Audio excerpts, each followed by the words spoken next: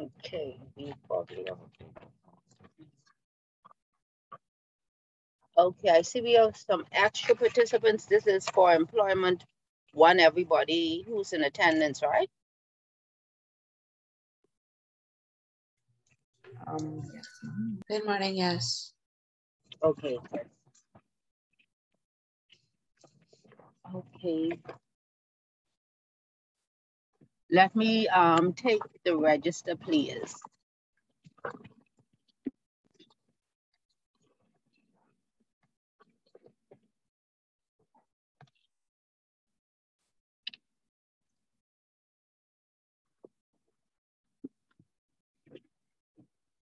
You can give me your names, please.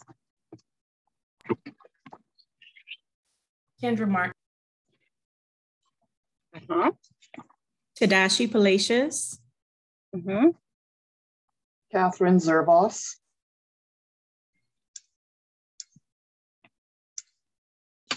Toron Fortune. Shanice McDonald. Nikita Isaacs. Sherlyn Hunt.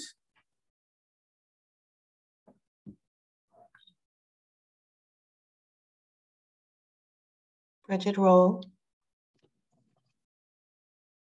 Marsha Lightborn.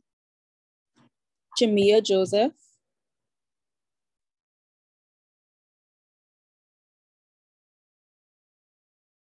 That's everyone.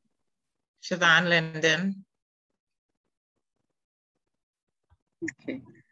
Bridget Roll. Okay, Bridget Roll.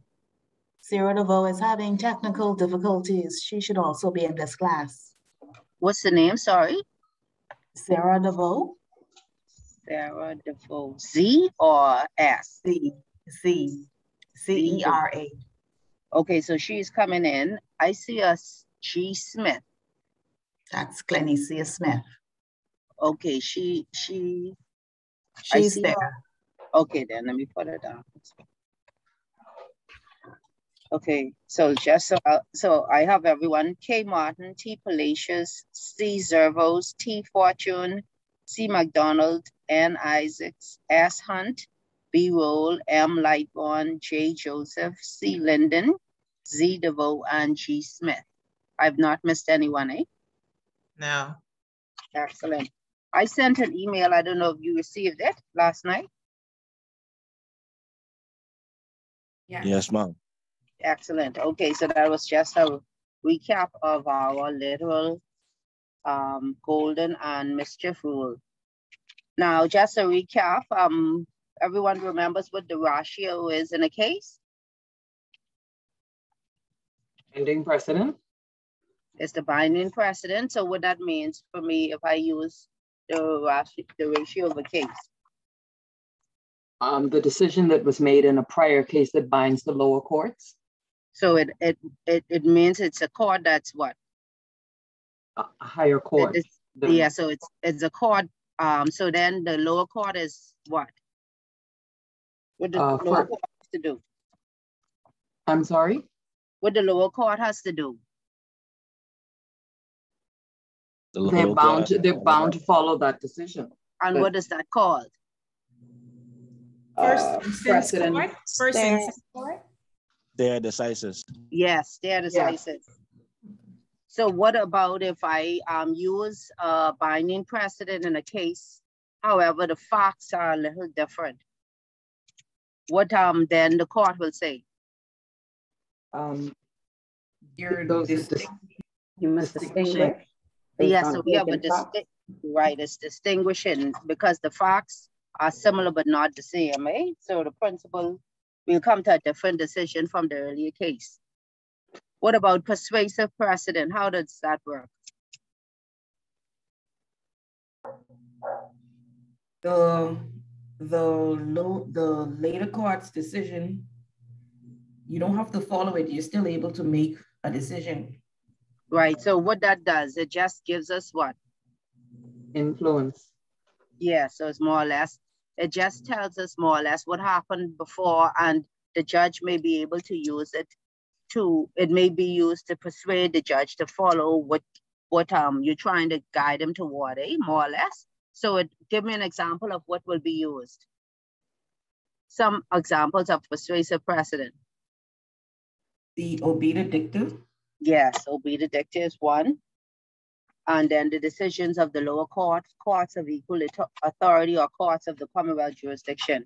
Who's the, um, what is the highest court in the Bahamas, within the Bahamas? Privy Council. Within the Bahamas. Court of Appeal. Court of, Court Appeal. of Appeal. And outside, like Mr. Fortune said? Privy Council. Privy right. Council. Privy Council.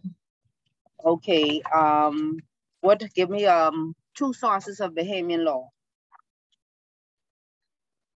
Constitution. Constitution and the Bahamian case law. Okay. And custom equity. Okay.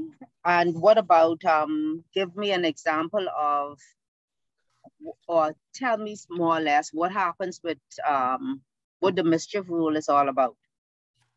Just a brief touch. Um, that one is where the judge decides to,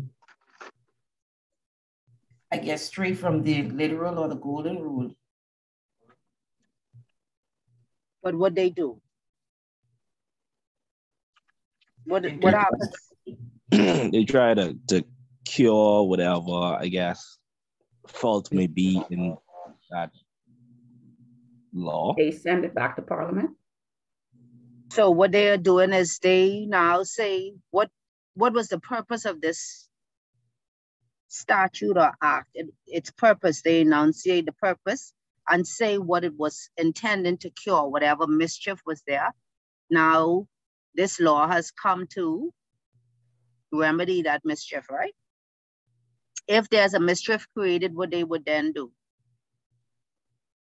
Make recommendations, eh? And you, like Ms. Isaac said, what they'll do? They send it back to Parliament for it to be right. amended. So me sending back to Parliament. So what what what may happen now? We will create a what? subsidiary legislation. Right. And so this how this how it comes about, how legislation comes about. We have first what? First reading. We, what we do? What we get first? You draft it first, then you have your first reading. Okay, so the draft is what? What we call it before it's an act? The bill. Right, we draft in a bill. Then what happens? What's the next stage? You prepare a white paper or the green paper. Uh-huh. And then we have public, a public publication. Public consultation, really? more or less, yes. And what and then it goes where? And then it goes to it is introduced. Uh, introduced in the House of Assembly. Right. It's introduced in the House of Assembly. What happens thereafter? Give me the stages now. Second. Second reading. We, we ain't had the first reading yet. We introduce it. Oh. So the first reading is where it's tabled. Table the first reading. Yes. Then it goes to? The second reading. Second reading. Uh-huh. The committee stage. Uh-huh. Report stage. Next. Third reading. Uh-huh. The Senate. Senate. It goes to the Senate. And finally. Royal Okay. So anybody was able to find out anything for me this week? Um, well, the closest I heard, um, the closest thing I heard about a bill or anything close to a bill was on the 17th when they made reference to the marijuana legislation. That was the closest I heard. So that's a, where, where, what stage this legislation at now? Right now, that's still in the in the conversation stage, so I don't even know where that fit in. So that's just like a in public domain. They testing it out now, eh? Yeah. Yes, ma'am. Okay. Uh, so we're gonna get all the feedback to know where whether or not they can introduce a bill. So they they gathering information. So they may be creating white papers or or green papers or what or the like. Eh? That was the only thing I heard closest to reference to anything about a bill or legislation. Yes. Okay.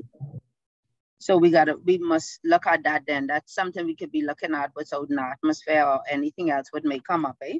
We have five, five, we have four weeks left, including this one now.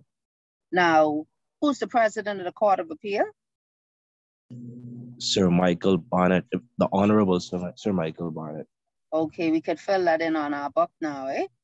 And take yeah. out the wrong thing. Who are the justices of appeal? The Honorable Mr. John Isaacs. Uh-huh.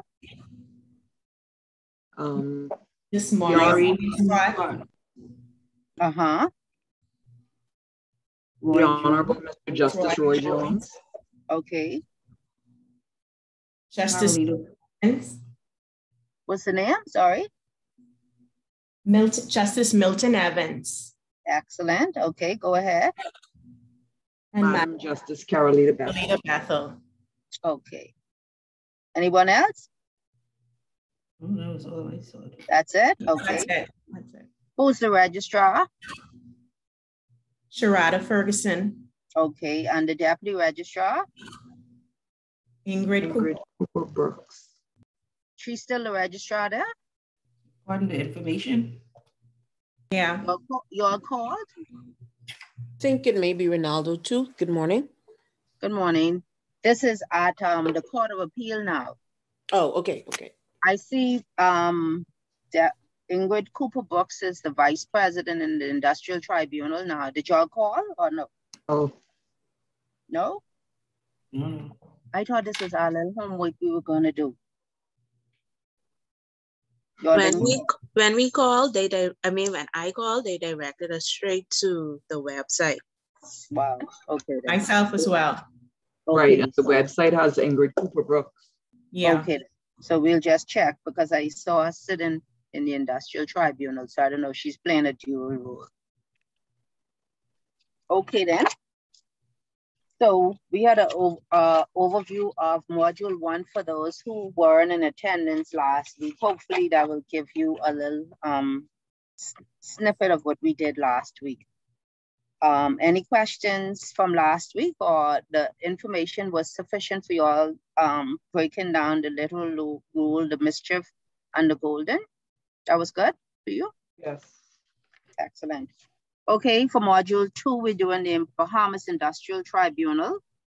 And after completing this module, we should be able to define an industrial tribunal, an employment tribunal, gain an awareness and appreciation of the quasi, of the quasi-judicial and process, develop in-depth knowledge of the rules and procedures of the Bahamas Industrial Tribunal, understand the workings of the Bahamas Industrial Tribunal, and gain knowledge of the appeals process for appeals to the Supreme Court and Court of Appeal from decisions of the Bahamas Industrial Tribunal.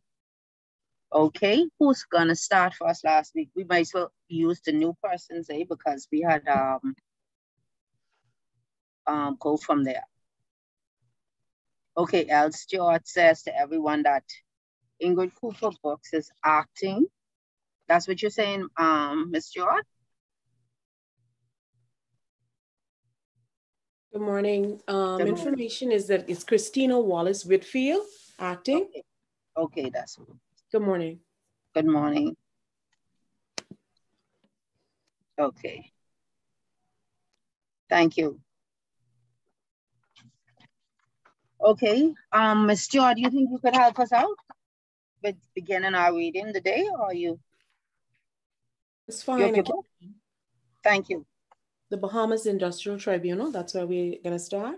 The quasi, the quasi judicial process. Okay, the quasi judicial process. Quasi judicial process is less formal than the judicial process in terms of the requirements of evidence and standard of proof required for legal matters. The standard of proof for criminal matters is beyond a reasonable doubt, and for civil matters, on balance of probabilities.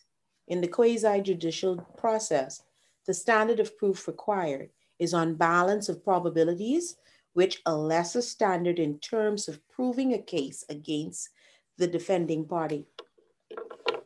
Administrative tribunals are special bodies which have been established by an act of parliament to deal with certain legal disputes between the government and the person or group of persons, a legal entity. Example, the judicial review. Domestic tribunals are disciplinary committees for professional bodies which are regulated and may be established under statute. Industrial reg relations tribunals are quasi judicial bodies established to hear and determine matters of employment or an industrial nature. They have legal powers to enforce rulings and ensure that certain actions are taken or legal remedies are made. Employment tribunals are originally established in the United Kingdom as industrial tribunals in the early 1960s, which dealt with tra- training levy complaints and then included unfair dismissal complaints in the early 1970s. The industrial tribunals in the UK were formally renamed employment tribunals in the late 1970s, and their jurisdictions jurisdiction sorry, extended beyond standard industrial matters to matters involving employment rights, including but not limited to equal pay, maternity benefits, right of trade union membership, and racial, sexual, and disability discrimination rights. These employment tribunals are governed by the Employment Tribunals Act of 1996 and the Employment Tribunals Constitution and Rules of Procedure, Regulations 2004, as amended in the UK. Okay, so let's stop right there.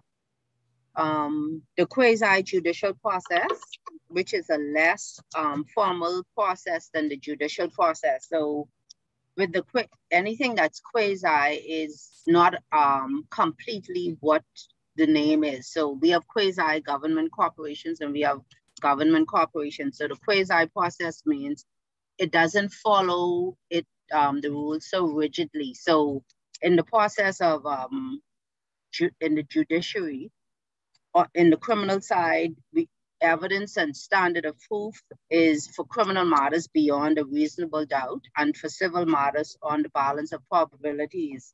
In this quasi-judicial process, the, sta the standard of proof is on the balance of probabilities, but it's a lesser standard in terms of proving a case against um, the defendant party. So they may allow certain things to take place that wouldn't normally um, follow in a judicial process. They may consider more things than would happen in the judicial process. So it's not as rigid.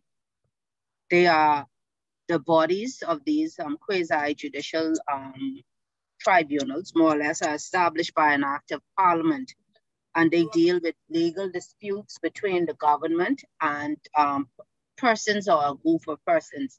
So in the example of judicial review, you'll have where I have a um, a grievance where I felt like um, my constitutional right or my rights as an employee were not um, followed, and so the government has created or they've created acts. There's acts of parliament to deal with certain situations of that nature. So I can ask for a judicial review of a decision that was made where I was working for a government agency and I felt like I was unfairly treated or my rights were not, were trampled on more or less. So in this instance, we're referring to a quasi-judicial body is that of our industrial tribunals. And they are established to hear matters of employment or of an industrial nature. Whilst they have um, legal powers, um, they can enforce their rulings or to ensure that certain legal remedies are made. We'll find out that where there is an enforcement, because as much as they give rulings, sometimes it may need to be enforced elsewhere because they're not, um, it's not as punitive as it would be in a Supreme Court action. So we'll find that out later on. These tribunals originate um, out of United Kingdom, where they were established in the 1960s and they deal with um, training um, levy complaints, and then they included the unfair dismissal. So you'd find in our industrial tribunal here, it deals more particularly with employment matters, and it's a very um, active court in this um, in the Bahamas in particular, um, Nassau centric. So we have the industrial tribunal where we have a president and vice president, and um, they're referred to as judges now. Um, here of late, they're not no longer just referred to as the president and vice president. They have them as justices as well now. Um, these employment um, tribunals are, are, governed by the Employment Tribunals 1996 and, um, Act and the Employment Tribunal Constitution and Rules of Procedure Regulations 2004 Act. That's as far as the UK is concerned. In our jurisdiction, um, what act do we have that would govern them? We have the Industrial Relations Act, eh? Yes? You all remember the acts from last week? Anyone? Yes, ma'am. Okay, so we have Bahamas Industrial Tribunal, so we can um, particularly associate that. That's an easy one because we have a common root word, eh, industrial. So that's the Industrial Relations Act. Would we'd be guided by the Industrial Relations Act. Any questions on the quasi-judicial process? Okay, let's continue. The Bahamas Industrial Tribunal. The Bahamas Industrial Tri the Bahamas established the Industrial Relations Board in 1970. The board was enacted pursuant to the Industrial Relations Act of 1970. Its purpose was one, hear all disputes relative to essential services referred by the Minister of Labor. Two, to register industrial agreements, and three, to hear any matters relative to the registration of such agreements. The Act was later amended in 1970 to establish the Arbitration Tribunal to hear all disputes relative to non essential services. The hearing of essential services remained with the Industrial Relations Board. The Industrial the Bahamas Industrial Tribunal, which will now be called the Tribunal, was established by the Industrial Relations Amendment Act of 1996, which will be termed the Industrial Relations Act, and effectively replaced the former Industrial Relations Board. This resulted from the decision in the case of the Princess Casino versus the Minister of Labor in 1992, which ruled that the arbitration process was voluntary and that all parties had to give consent to the process. This was not agreed to by employers. Hence, the government, in consultation with the unions, established the tribunal. The Industrial Relations Act was amended in 1997, and the jurisdiction of the Industrial Tribunal was stated to include hearing matters involving trade disputes for essential and non essential services and the recognition and registration of industrial agreements, and hear and determine any other matter brought before the tribunal in accordance with the Industrial Relations Act. The tribunal also has powers to order reinstatement, damages, and other remedies in the resolution of workplace conflicts and trade disputes. Tribunal matters are heard in Nassau and Freeport. The tribunal is accessible to the public as the service of the tribunal is free. Industry, ind, individuals, sorry, commencing labor-related actions, trade disputes, do not have to be re represented by legal counsel and may represent themselves at tribunal. The jurisdiction of the Industrial Tribunal was amended in 2012 to establish the Registrar of Trade Unions and Industrial Agreements would be responsible for the registration of industrial agreements. The Industrial Relations Tribunal Procedure Rules 2010 was enacted in in the 7th of December 2010 to establish the rules and procedures of the tribunal and as a secondary legislation supplement the Industrial Relations Act, which was later amended in 2012 and 2017. As a quasi judicial body, the proceedings of the tribunal are, met, are meant to be less costly, more expeditious, and less formal than a court of law in resolving trade and labor matters. The rules relating to the admissibility of evidence that apply to a court of law do not apply to the tribunal, and matters are designed to be settled in an informal, cost effective, and less logis, litigious, litigious, litigious, sorry, manner. An appeal from a decision of the tribunal may be made in the Supreme Court and further appeal to the Court of Appeal of the Bahamas. However, the tribunal may make inquiries of persons appearing before it as witnesses. Okay, so we have the Bahamas Industrial Tribunal. And this what this first of all, let's start off with the Industrial Relations Board in 1970, which was established. And this was enacted pursuant to our legislation, Industrial Relations Act of 1970, um, established to hear disputes essential to serve, um, for essential services referred by the Minister of Labor, register all industrial agreements, and hear any matters relative to the registration of such agreements. Now, these industrial agreements, where you know that name from, what usually you associate industrial agreements with? Unions.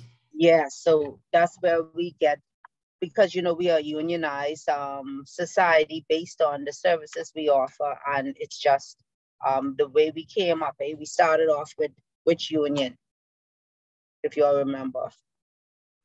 The union what um, where they had all the issues. Um, with public service. No, who who started everything out? The hotel union. Hotel. Or the what about the taxi cab fellas? Them as well. Yeah, you know they were more or less the in the forefront, and then we began with all of the other unions, eh? Correct. Yes. Now, the act was amended in 1970 to establish the arbitration tribunal. I don't know if you recall that, if you were old enough to. Um, and it usually dealt with disputes of non-essential services. Essential services was at the Industrial Relations Board. Now they've incorporated both of them based on a decision from the Princess Casino versus the Minister of Labor and they ruled that the arbitration process was voluntary and as a result parties had to give consent to the process. So if a matter was referred to arbitration by whom? Who we say they would have referred it to? All disputes were going to be referred to by whom? The minister of labor. Okay so when he referred this matter for arbitration i was not bound by decision unless i consented to come into arbitration eh? Hmm because it had to be voluntary. All parties had to give consent. If they didn't give consent, then did they have jurisdiction over me if I am not consented to come to this process? No. Okay, so now it was agreed that they would now establish a tribunal. This tribunal would be more or less, you would be more or less what what you would be now. Since forced to do so. Okay, so you now whatever they say now, you have to follow more or less, eh? Right. So as much as it's not a court, you still it's a quasi judicial process, so you still have they have some teeth more or less. Now it was amended in 1997, and as a result, the Industrial Tribunal was in, to include to hear all matters involving trade dispute for essential and non-essential services and recognize and register industrial agreements with that with the trade union. They will hear and determine any matter, any other matter that was brought before the tribunal in accordance with the Industrial Relation Act. So now the tribunal has powers. They could they can order reinstatement where you were dismissed, damages where you um, should have gotten additional funds or they that or you would have lost earnings, or you could have um, uh, earned in um, future um, income. They will have- Yes, um, good morning. This is Siobhan Linden from Bahamas Mortgage Corporation. okay, go ahead. So is it my understanding that before the tribe, the industrial tribunal, you had no recourse when you were unfairly dismissed, et cetera? No, no, no. Now, before you would have had to go where? Where we say now? You would have gone where? When you To were to the courts, Right. So right, now they created this process so that where I am not, I am, I already got dismissed from my job, eh? right, I don't have the funds to hire a lawyer just to get in the Supreme Court. The formal rules of evidence would apply, so I would have to reach a burden, a higher burden. What's what what now? This is a civil matter. What my my burden would have been, right? I have to, have to hire a lawyer, And what I would be on the balance of what? Beyond reasonable doubt. Okay, uh, what is it? No, what what we say on the balance of what for civil matters? Probabilities.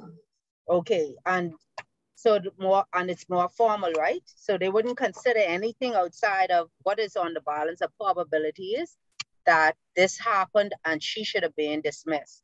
Or was she unfairly dismissed based on the- now in this process, we allow, we don't, we're not so rigid with our evidential rules. And additionally, you as your, you as the person can represent yourself. You don't need a lawyer. Okay. The process is more user friendly. I can come into the court and I would get assistance from a registrar, or the secretary to the tribunal in assisting me in getting the forms filled out, presented. They would give me more guidance. Eh?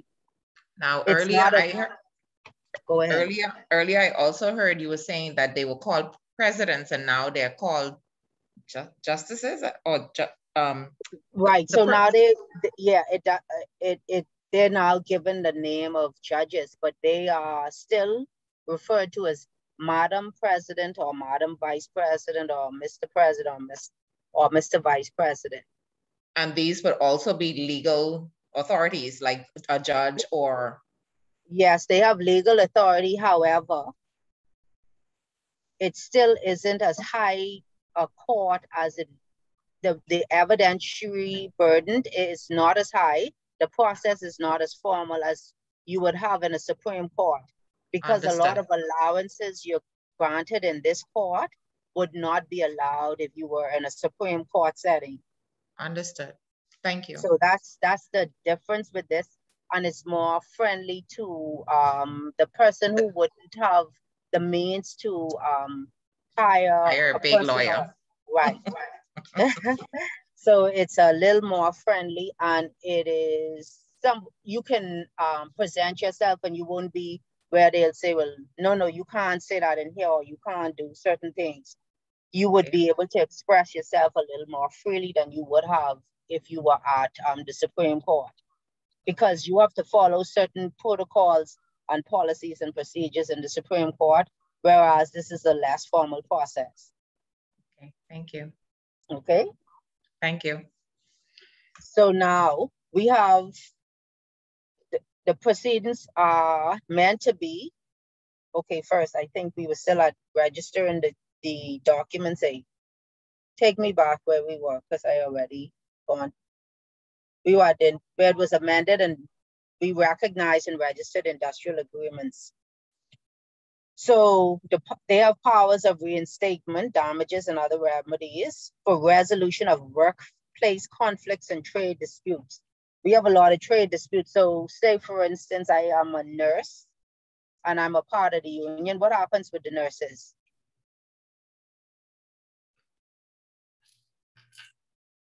You mean what happened recently? just say for instance i'm a nurse. We are part of nurse. What they what they had recently they say we were working Hours certain of hours. Work to rule. right because what happened? What they say first? We were working these long hours and we weren't getting our overtime or we were working in hardship all of those stuff. So now they would come to the board as a as a union and say you know um we need to be compensated according to our industrial agreement. We're supposed to get this, that, and the next thing. And what happens? You are not honoring your part of the bargain. So what happens when they do this? If if you don't if you don't come to the table with them, what they say? They're gonna file a trade dispute. Ah, right. So we're gonna we have to file a trade dispute. There's some issues here we need to resolve. So when we file a trade dispute, it could be referred to where? The, the tribunal. Right to the where we'll send it first. We go to the Minister of Labor Department.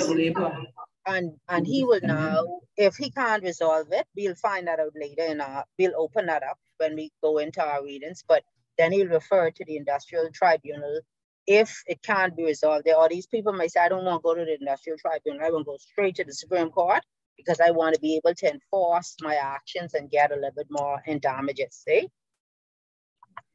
So in that instance, so we they deal with trade dispute. Now, where we have this, these persons can now, what happens with this service at the tribunal? What they say, what is particular about this? This is free, is accessible to the public and the service is free. That means in some actions, I may have to find $100 to file papers. I may need to know what papers to file. If I don't know what to file, I got to find it out myself. Whereas I may be, it's accessible. I can go to the tribunal, ask them, I want to file a, I want to file an action against my employer. They may guide me through the process, give me Form A, Form B, and then I just fill those out, bring it back in a certain time they give me. So it's a more friendly process and it's free. That's important for um, individuals who are unable to pay for legal counsel. They do not have to be represented by a lawyer and they can represent themselves at the tribunal. This, this um, doesn't disqualify um, this process completely because this can also happen at the Supreme Court. But based on the formalities in the Supreme Court, you may get lost in there trying to represent yourself. And really and truly, there's no one there to aid you through the process because you're taking it upon yourself to come into a Supreme Court setting, you should know what you're coming for. So you're not going to have someone to guide you through the process as you would in the tribunal process. Again, it's the tribunal process is less costly. It's more expeditious, means it's going to go faster. You don't have to wait on all these long drawn out dates um, for you to hear from the court, or you won't have, they won't put you on the calendar until 2025 you may get a quick date. It's less formal, and they try to resolve the matters between the parties more amicably. Um, admissibility of evidence that apply to the court will not apply here. And the matters are designed to be settled in an informal, cost effective, and less litigious manner. So when you get there, they're not going to encourage you just to be adversarial. So it's more or less why they'll send you away a couple uh, a few times to say perhaps you all two can talk this over. We're going to give you a chance in accordance with that to stand down and you to discuss this matter to see if you all can reach a resolution before the court steps in. So the court more or less is still acting as a mediator of sorts, but they're there to enforce whatever they feel should be the case. So you still would present your case um, if it if it comes to that, but more or less they're looking for it to be less litigious, so it won't be so that you need a, an attorney present, and you you'll go through the process where they're trying to see if you can reach a medium and everybody can leave out feeling like it's a win-win situation. If you want to appeal these decisions, however, it has to be made at the Supreme Court and it can be further appealed at the Court of Appeal. Um, you would find that enforcement of the orders may you may have to um, enforce your orders at the Supreme Court where there's money involved and the persons won't um, um, are not adhering to it. You may enforce your orders at the Supreme Court again, or you may appeal a decision at the Supreme Court and a further appeal at the Court of Appeal. However, the tribunal um, may make inquiries of persons who appear. So in the instance, you may bring a witness, and so then you would be um, more or less examined by the um, tribunal or the president, um, vice president at the court um, of matters that are concerning um, the court at that time. So where you may give evidence or you may have said something has happened, they would call you in as a witness just to verify the facts. Any questions on the industrial tribunal so far? We understand the process so far? Yes. Okay, let's move on. Uh, okay, who can help us out? I think um, Ms. George was helping us. Thank you. Who can help us now? I don't mind. I'll go. I don't mind. Thank you. Thank you. Okay. The tribunal is comprised of three members appointed by the Governor General, acting on behalf, sorry, acting on the advice of the Judicial and Legal Service Commission. The three members include the president and two vice presidents, one in Nassau and one in Freeport. These members have security of tenure under the Industrial Relations Act until retirement at the age of 65, although the retirement age can be extended to 67 by the Governor General on the advice of and consultation with the Judicial and Legal Services Commission, resignation and or removal. In other words, there is no specified number of years that they are contracted to serve on the tribunal. Any member of the tribunal may sit alone, hear, and adjudicate a matter, which is often the case. Matters may be heard in Nassau, Freeport, or any other place that the president may elect to hear proceedings. The overall administration and legal oversight of the tribunal are the responsibility of the president of the tribunal who acts as the chief arbiter of trade disputes, although the president and vice presidents have equal power, authority, and jurisdiction to hear and adjudicate trade disputes under the Industrial Relations Act. The president and vice presidents may be counsel and attorney at law of the Bar of the Commonwealth of the Bahamas or any member of the Bar of England and Wales, the Bar of Scotland, or the Bar of Ireland with no less than 10 years post-call legal experience. The president and vice presidents of the tribunal may also be assisted in the resolution of trade disputes by a panel comprised of fit and proper persons from a trade and industry, financial services, labor unions, and other areas of Bahamian society who are selected by the Director of Labor upon consultation with various employers and employee associations. The number of persons on the appointed panel is limited to 12, six of which are appointed by the Director of Labor after consultation with Employers Association and the other six after consultation with employee associations. The term of office on the panel is limited to three years, and the Director of Labor has the power to revoke the appointment of any member that he deems does not deem fit to continue serving. The President has the power to select one person from the panel appointed after consultation with the associations of employers and one person appointed after consultation with the employees' trade unions to sit on the full tribunal. After hearing the matter before it, any determination by the full tribunal is made by the majority of its members. The Minister of Labor has the power and is required under the provisions of the Industrial Relations Act to refer a trade dispute to the tribunal which he has had difficulty settling or resolving, particularly within the time limits established by the Industrial Relations Act, Island Construction Company Limited versus Industrial Tribunal, the AG and, and Commonwealth Wholesale Retail and Allied Workers Union, Appeal number 29 of 2003, Bahamas Court of Appeal. Jurisdiction. Hello? Okay, hold on. Okay. So we have the composition of the tribunal now. So let's make a note of our composition. The composition is, um, comp it's comprised of three members and they are appointed by the Governor General, acting on the advice of the Judicial and Legal Service Commission. So these three persons are usually appointed on the advice of the Judicial and Legal Service Commission, and they are appointed by the Governor General. So we have a president and two vice presidents. And the two vice presidents, one is in Nassau and one is in Freeport and they have security of tenure until they attain the age of um, 65 and it their um, retirement age can be extended to 67 again by the Governor General on the advice of the Judicial and Legal Service Commission, or if they are resigned or removed from their post. So they don't have any specified number of years to be um, contracted with the, so you don't have where, okay, your contract of service is only for a year. They have security of tenure. So we have, who else have security of tenure we know of in the government of the Bahamas? Commissioner of Police. Yes, yes, yes. Commissioner of Police, the judges. So they have security of tenure.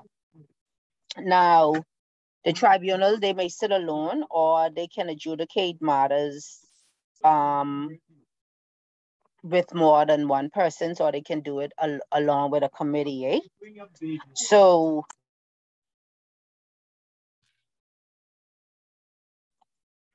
the overall administration and oversight of the tribunal is the responsibility of the president who acts as the chief arbiter of the trade disputes.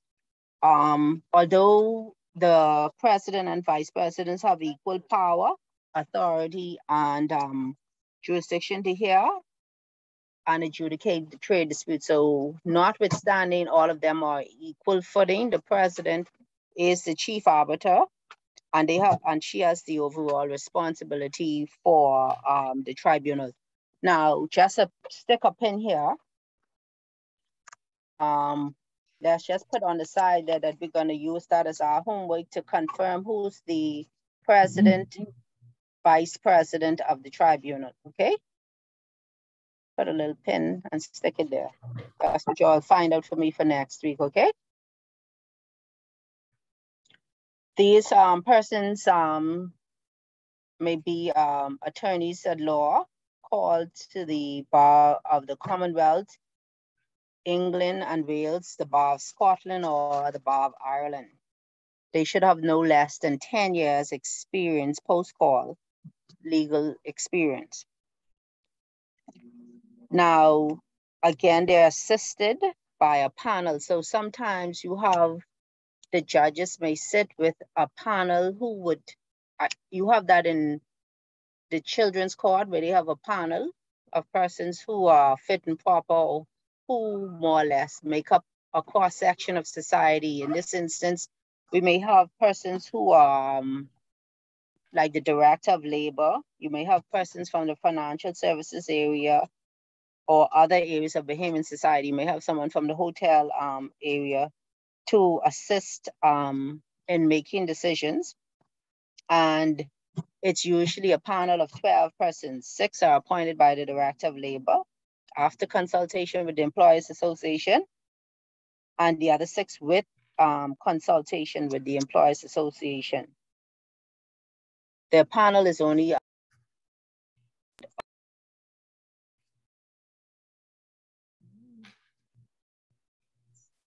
Ms. Darcy, you muted. Oh, sorry. Why is doing this? Um, sorry again. The president has the power to select one person from the panel appointed after consultation with the Association of Employers and one person appointed after consultation with the employees trade union to sit on full tribunal.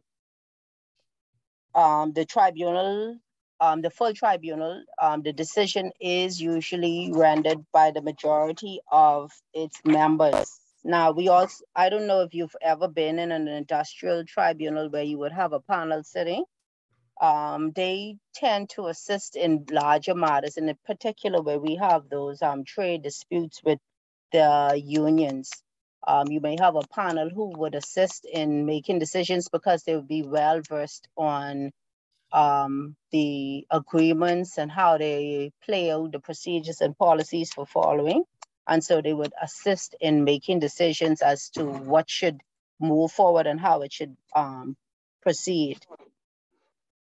Um, the Minister of Labor has the power to refer a dispute to a trade dispute to the tribunal where he has a difficulty in settling or resolving an issue So you would find, um, you may not sit actually with the Minister of Labor at the Labor Board. You may sit with one of their conciliators.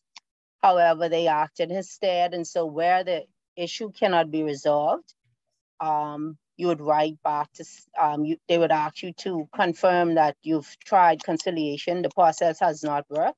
So you will write now and ask for the matter to be referred um, because there's no resolution to the matter. And so thereafter, the Minister of Labor will now um, transfer the matter or refer it um, to the tribunal for um, it to be resolved there at the tribunal because it's not been um, resolved down at the Ministry of Labor, at the Department of Labor.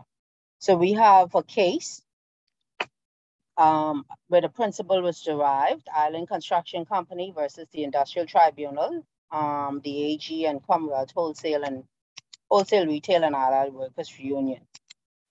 So in this instance where there's no um, resolution, the minister can now um, transfer the matter or refer the matter to the industrial tribunal for it to be resolved.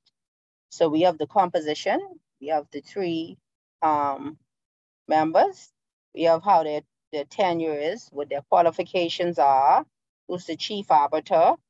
We have also the panel, which makes up um, the tribunal, and it consists of 12 persons. Six are on the uh, as directed by the minister, the director of labor, and six after consultation with Employees Association.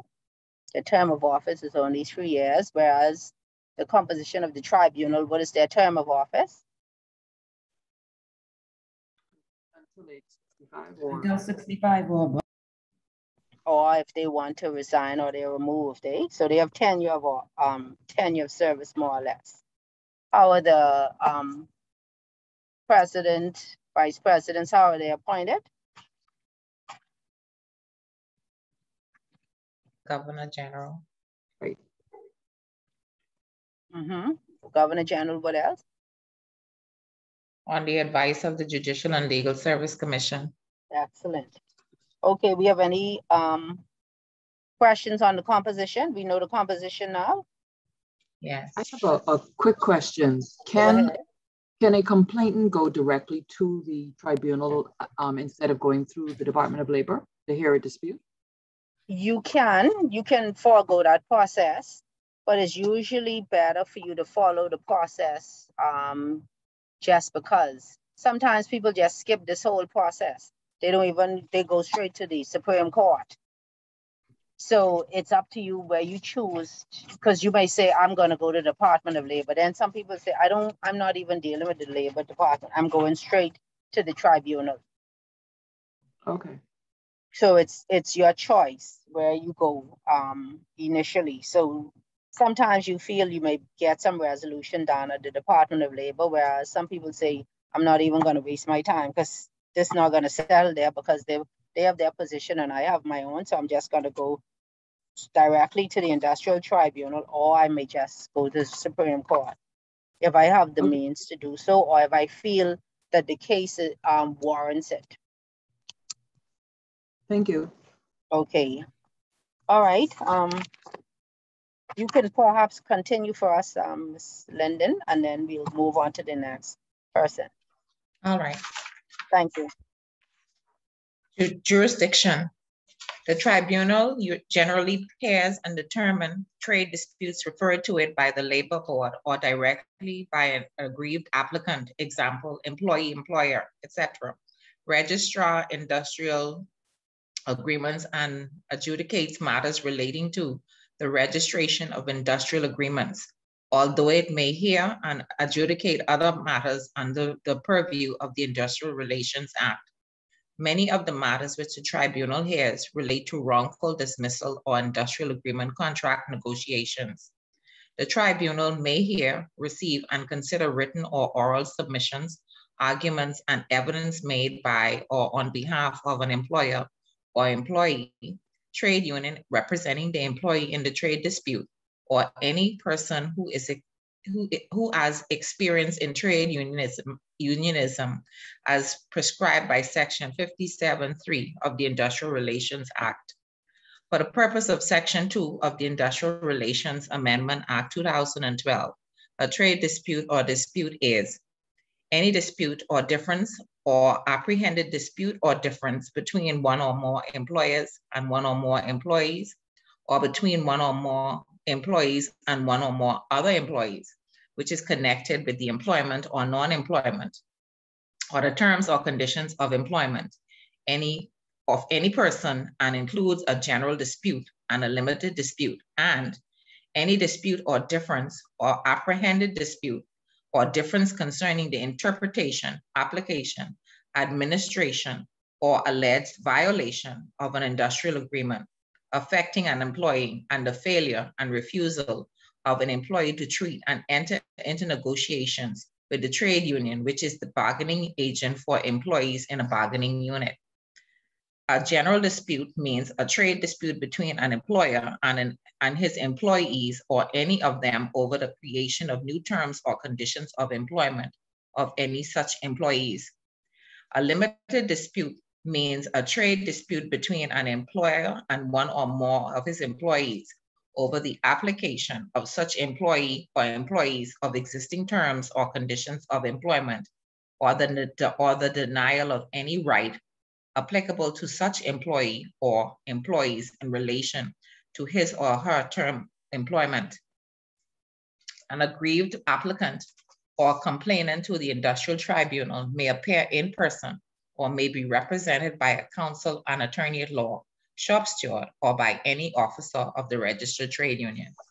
Okay, so we have the jurisdiction now. So we dealt with the industrial tribunal, their composition, and now we're dealing with the jurisdiction of the tribunal. So the tribunal is there to hear and determine trade disputes referred to it by the labor board, or where the question was, if I can go there directly or directly. You see that? By an aggrieved applicant. So you can, it can be referred to or you can go directly. Yes? Yes. Thank you. Um, so now we can register, they register industrial agreements. They adjudicate on matters relating to the registration of industrial agreements. And it may hear and adjudicate other matters under the purview of the Industrial Relations Act. So anything that falls within or under the Industrial Relations Act, they may hear and adjudicate on those matters. Most of the matters that come before the tribunal um, relate to wrongful dismissal or industrial contract negotiations. So based on them being the, the, the uh, tribunal that relate that deals with the registration of industrial agreements, we would note that uh, most of the agreements that are formed industrial wise with the unions with um, as a whole go through this tribe, um, this industrial tribunal to um, be resolved, eh? or to be registered. So it'll be they would they would sit and hear um, what agreements are going to be put in place on behalf of whomever is being is registering the uh, industrial agreements. Now the tribunal may hear, receive, and consider written oral submission, arguments and evidence made on by or on behalf of employer or employee, the trade union representing the employee in the trade dispute or by any person who has experience in trade unionism as prescribed by section 57.3 of the Industrial Relations Act. So we have what a trade dispute is, and that is um, defined under Section 2 of the Industrial Relations Amendment Act 2012. And that's any dispute or difference or apprehended dispute or difference between one or more employers and one or more employees. Then we have any dispute or difference or apprehended dispute or difference concerning the interpretation, application, administration, or alleged violation of an industrial agreement affecting any employee and where the employer refuses to treat and enter into negotiations with the trade union. Then there's a general dispute, which is a trade dispute between an employer and his employees or any of them over the creation of new terms or conditions of employment. So in an instance where I am working in a bank and you had me hired working Monday to Friday, nine to three, and you now unilaterally change my um, conditions of employment to work um, Monday to Saturday, nine to two um, through the week, and nine to one on Saturday. What's the difference? What what I can do now? What I have?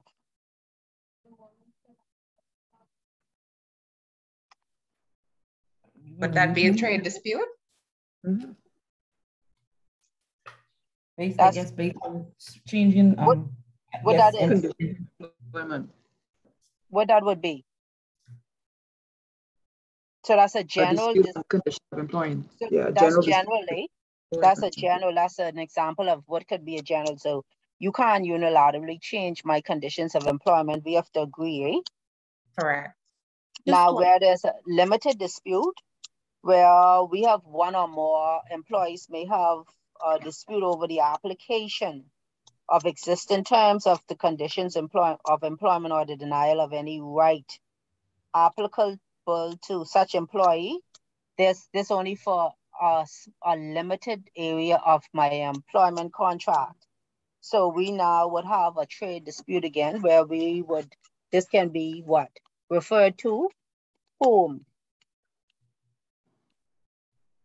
The director of labor.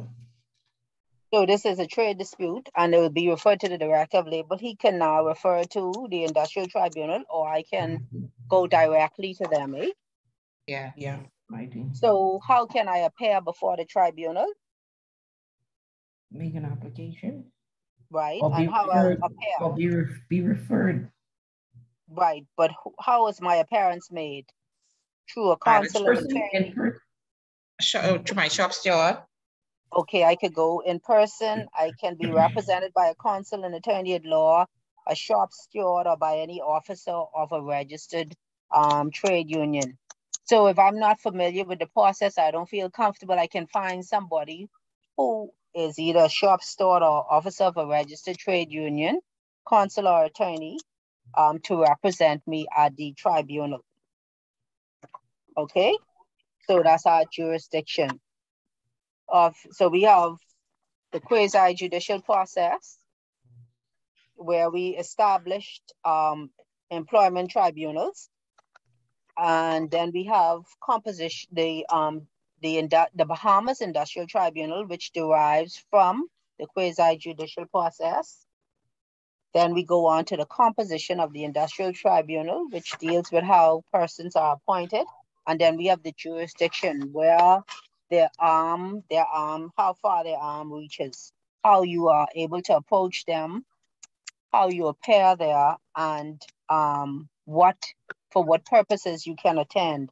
And the purposes are outlined under Section 2 of the Industrial Relations Amendment Act 2012, where it's a trade dispute. Any questions on that? I'm sorry, Mr. Dorset. I have a question. Go Forgive ahead. me if I, forgive me and Ms. Dorset and, and my fellow classmates if I seem, if it appears um, controversial, right? But the general dispute, which means a trade dispute between an employer and his employees or any of them over the creation of new terms or condition of employment. I'm referring to where we are right now and dealing with today and the whole vaccination thing. And with them saying you have to be vaccinated if you want to work and all that. Would that be then considered a general dispute? Can it be filed as? Or can it be considered as a general dispute? Yeah, but you have a lot of people who are now taking that matter to court, eh? Yes, yeah, Yeah, that's, that's so- Yeah, because you now changing the terms of my employment. Now, Yeah. you would say that these things come into being. So when they came into being, that still you have to now, we have to renegotiate, eh? Mhm. Because if you requiring me to get certain things, I may require you to pay me some additional funds to get these things, eh? So and, we, and uh, I think, yeah, sorry, go on. um, but it's also, you know, it's open to how I'm gonna go negotiate, because I, as the employer, may say, well, I'm not able to facilitate you. So we may have to part ways, or you may say, me as the employee, I'm not prepared to do that, so I may have to part ways. So it's equal access, eh? Um, so it's, it has to be fair on both sides. Yeah, so is there a way then, I guess, there, uh, I guess, um, in contractual, the employer has the right now to, to I guess, form a new contract post the whole situation now and saying anyone that would be in my employ as of a certain date now then has to be, but all those that would have been before isn't Yeah, an but issue. I have to, I have to agree, because remember the contract is offer and acceptance, and so it can be one-sided. It- It's not Yeah, yeah, I mean- Okay, I mean, based on offer and acceptance, yeah, so, per, I mean, okay, just saying. So you offering me new terms of employment. You telling me if I want to continue working here, I have to But do not- certain things. But not for a, a, a previous em- employed person. It's like if you were employed on Monday, then Uh-huh. you get what happens. But when my new contract comes out for someone who's coming on Friday, my new Uh-huh. contract would then say you need to be. Is that legal? Well, I mean, if it doesn't contravene any laws, then it is. If you're not trampling on any rights, it is. So Okay. it's not one, it's not so direct because there are, all- there's more than one law that may affect that. So you may now look at the health and safety regulations. So what we have to look at when we're talking about employment? What we looking at? The Employment what Act. we is- We have Employment Act, we have the Employment Amendment Act, we have the Minimum Wages Act, we have Health and Safety at Work. Yeah. So we have to look at all these things to make sure that you're not discriminating against me. Or um, you're not taking my health into consideration as a part of my employment because all of these things are rights that are enforced, eh? Yeah. And then I can also, what is the highest um law of the land? The primary source of legislation, The Constitution. right? So make sure you don't, you are not contra contravening the con, my constitutional rights as well, eh? Because any act that's in the Bahamas comes secondary to the Constitution, eh? Yes. Any other questions? I have a question on the example that you gave regarding the banks changing of hours, adding an extra day of work. Mhm. In the example that you gave, they didn't increase the number of hours, they just reallocated the way those hours were spread out. Am I understanding that correctly? Yeah, so they may change just to say, well, you know, I'm not, I've not changed your working hours. I just changed the days you work. Okay, but in this particular case, it would, there would be some dispute with the fact that an employee is entitled to 24 straight hours um, of rest and then an additional 24 hours, which don't have to be consecutive. Right now, it's only twenty-four hours. What do we say a day off is? 24 24 hours. Yeah, I only need to give you twenty-four hours, eh? Um, Well, but then your work week, what your work week is, what the hours for the work week is, is according to what is according to how you work, eh? But you should have at least twenty-four hours as a day off in any given work week, eh? Right, You must have a full consecutive twenty-four hours. hours, right? Right. So, So what about the second day off, which in this case, if you're working them Monday to Saturday, there isn't a second day off, even though their hours are less per day. But but they gave you full twenty-four Sunday. hours off, eh? You don't have Sunday. They give you full twenty-four hours. Right, on the Sunday would be the full 24 hours. So the Right. employer would not be obligated to, to give the employee the other, oh, I see, because they shorten the days, they actually get the Right, additional they- hours. Oh, Right. I got- I Because they're making sure they're within this forty-hour work week. Yes. But that doesn't change the fact that I was contracted to work Monday to Friday. Okay. How would an employee win an argument like that then? Yeah, If- but I mean, you either, you can say, you, you hired me to work Monday to Friday. So if you change in your hours, then if you change in the days that I work, you've changed my contract. I have to now accept that, eh? Okay. And If I don't if accept the- that, what I, what I, what I must do? you can you can move on. I have another question. What if your regular schedule were, were not regular days? You typically could be scheduled different hours, different days if there was So then- scheduled work. So Would now you have an ha- argument with that? No, no, because you hired me, when I was hired, I was hired as a shift worker. Uh. So that means I don't have any set day to be on or off, Got you. Okay. you I see? So I, I could change the days like that. Go ahead. Just a question piggybacking off Catherine's question, um, with the same bank example, you're normally in the interviews, we ask the applicant, are you prepared to work or are you available to work on weekends should the need arise? And in mm-hmm. most interviews, everybody says yes. So I'm, I'm available to work should it arise, but it can be that that's scheduled date. Okay, okay. But, Because but, you didn't, you're not saying that that's gonna happen as a regular. every week, Right, but now when you make it regular, what, you making that a part of my working hours now? okay, so, then I'm thinking if the need arises, that's a little bit of overtime. That's not you telling me you're gonna start using my Saturdays every other Saturday. okay, so what I'm trying to get at is then if that is the case that I may need you for Saturday employment, in the mm-hmm. interviews, I have to actually set that out. So I should say that my bank is open on Saturdays and you would be required to work on Saturdays. And you should have a timeline as to when I'm gonna be working on Saturdays. Okay, Because okay. then I should know what I'm, how I'm working. And once that is discussed in the interview process, Mhm. then that mitigates from the dispute Now, it can't just be discussed. It has to be a part of my contract. contract. Okay, very well. Mhm. Any other question? Okay, so let's do powers of the tribunal. Who's gonna help us with that? Thank you. Um, I think it was Miss Linden who just helped us, right? Yes, you're welcome. Okay, thank you. Let's move on. Who can read for us next, please? I'll We don't- read. Okay, thanks.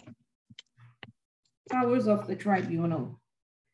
The industrial tribunal has the following powers. One, remit a dispute to the, to the parties for further consideration or discussion by them in an effort to reduce, to reduce and or resolve the issues related to the particular matter.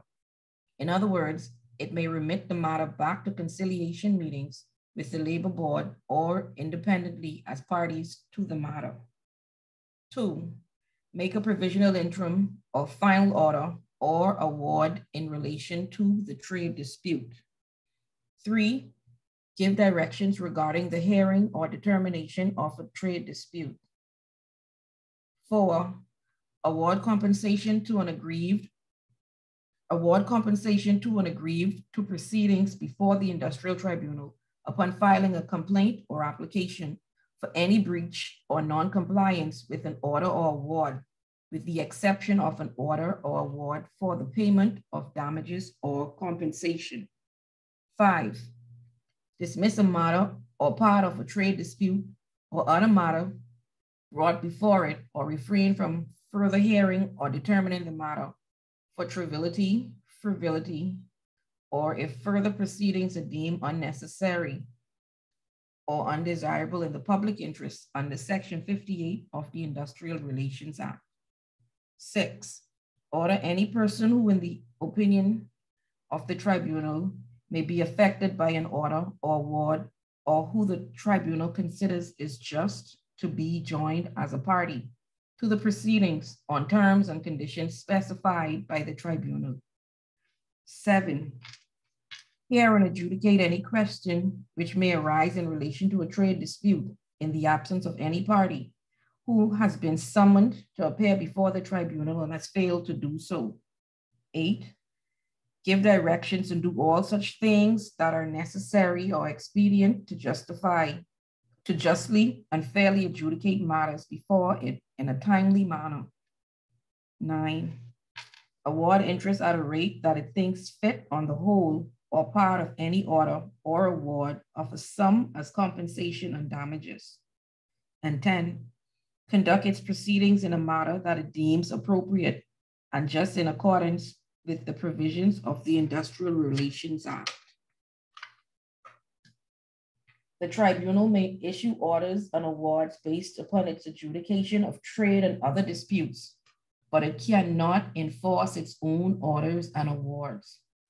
The enforcement of any order or award by the tri- tribunal must be made on application to the Supreme Court, who may enforce an order or award in the same manner and to the same extent or effect as a judgment or other of the Supreme Court. Okay, so we have the powers of the tribunal and they can remit a dispute to the parties for further consideration or discussion. So what we say, what usually happens when you get there, they they um tell you to go away and try to resolve it again. They said they can send it back to the labor board or they can tell the parties, you know, y'all should go ahead, discuss. I think y'all can reach a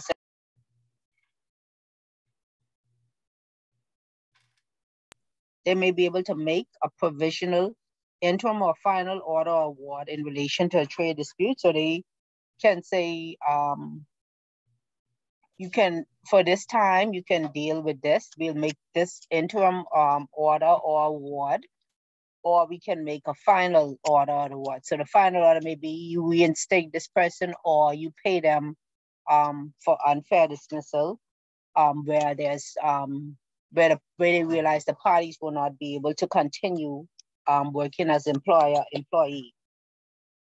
They may give direction regarding the hearing or determination of a trade dispute. So they may say what's going to happen, how it's going to be heard, and how it will be determined.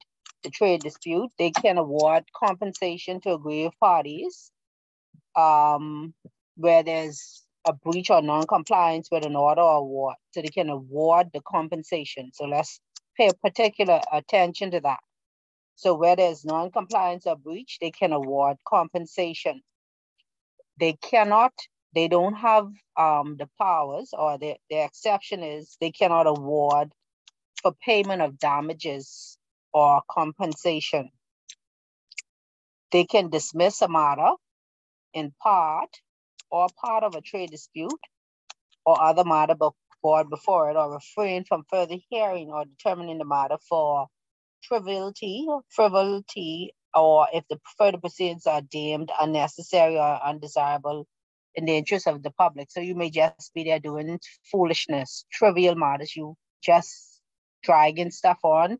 We'll just dismiss the matter. It doesn't make sense for us to continue. They may order any person who, in the opinion of the tribunal, may be affected by an order or award to be joined to a party as a party to the proceedings. So I can join you where I feel you should be a party to these proceedings or the person should be able to um, recover from you. Um, you should be, so it may be um, ABC Company Limited under um, the managing director or the managing or the majority shareholder, I may consider that they were acting outside of their role as a majority shareholder um, I would say they should be joined to these proceedings just in case the company don't have any more money. These people would have detrimentally relied on the promises given by this person in their capacity, not as a shareholder. They gave this um, this guarantee outside of their role in the company.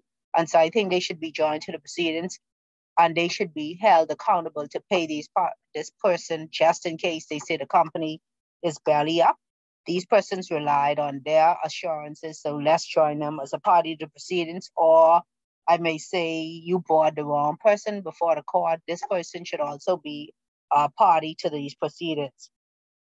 If they summon you before the court in your absence, they can still hear the matter. If you choose not to come, they can hear the matter um, and adjudicate any question that arises in relation to the trade dispute. They can give directions on all such things that are necessary to justly and fairly adjudicate matters in a timely manner.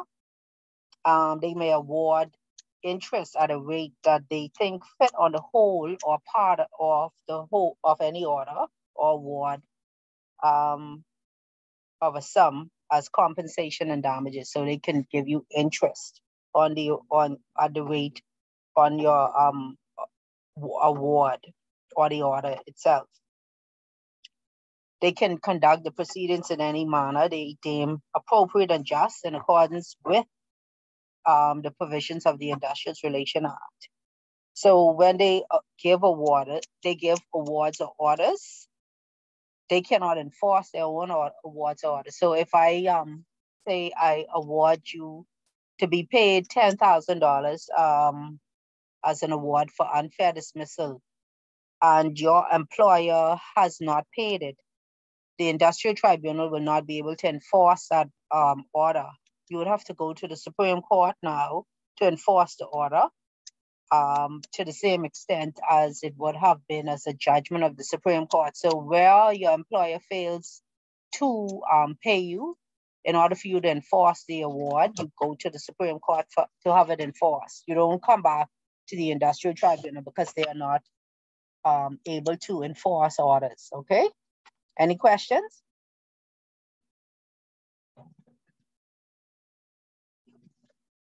Okay. You can hear me, right? Yes. We Yes. can. Okay. Yes. Yes, yes. You you all following me so far, yeah? We are. Okay, good. Very good. Okay. Go ahead, um, Kendra, please. Yes. I'm gonna read, um, Ms. Ms. Dorset, I'm gonna read up to number three, and then I guess someone can take over from there, because it's a lot. Yes, thank you. Okay. Industrial Tribunal Procedural Rules.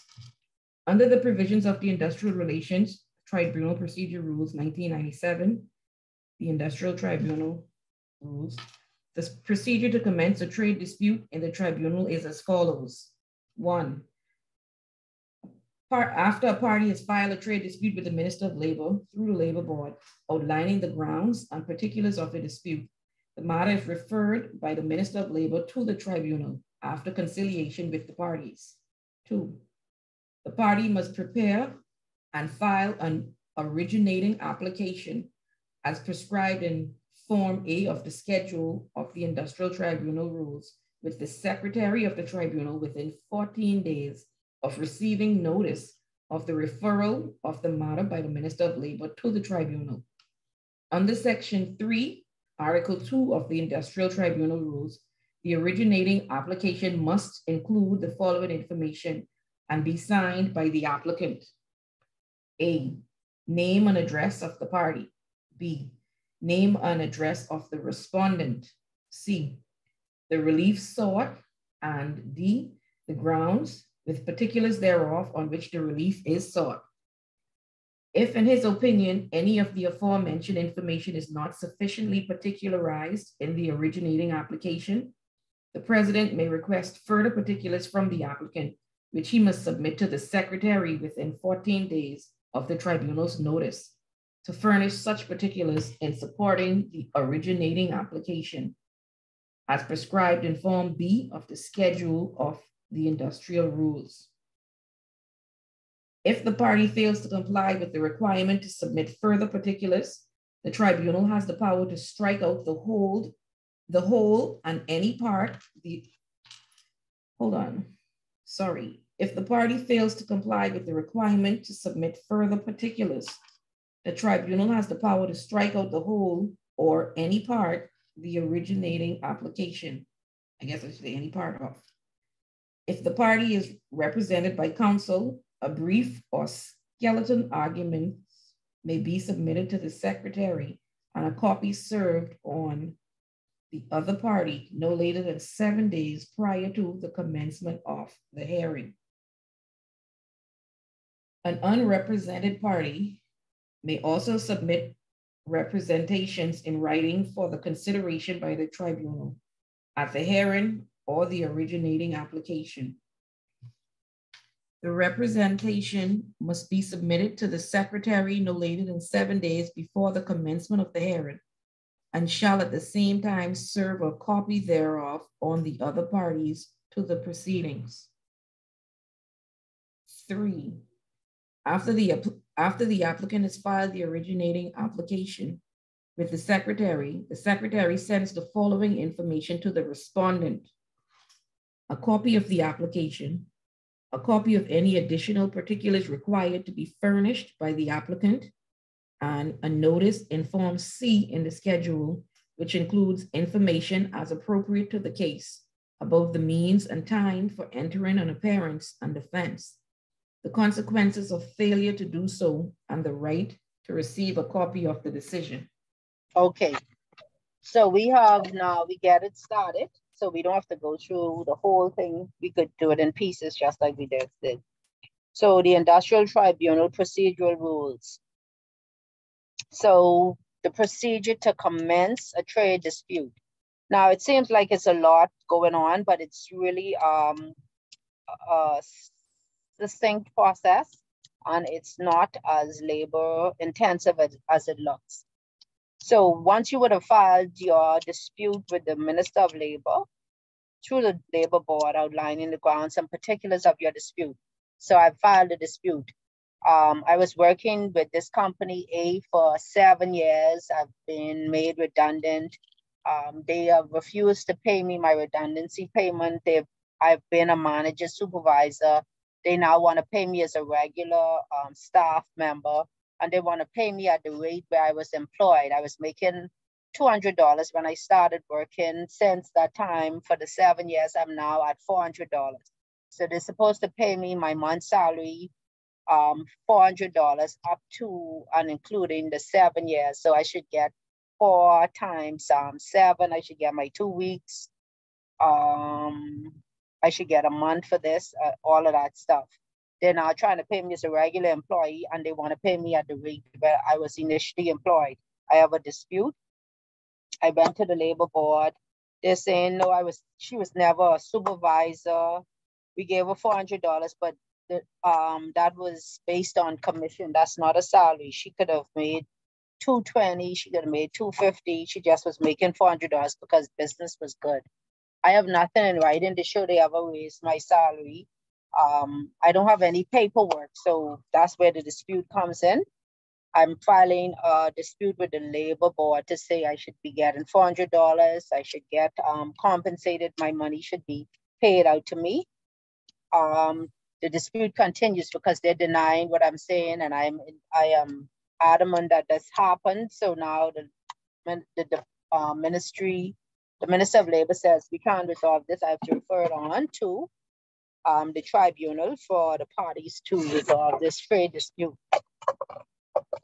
So once he refers the matter on, I am now to prepare an originating application, which is Form A, with the Secretary of the Tribunal. And this has to be done within 14 days of me receiving notice that the matter has been referred to the tribunal. And under section 3.2 of the industrial tribunal rules, I have to sign the application. I have to include the name and address of my name and address. I have to include the name and address of the respondent. In this case, will be my employer. So that'll be ABC Limited, um, located on Bay Street, Nassau, Bahamas.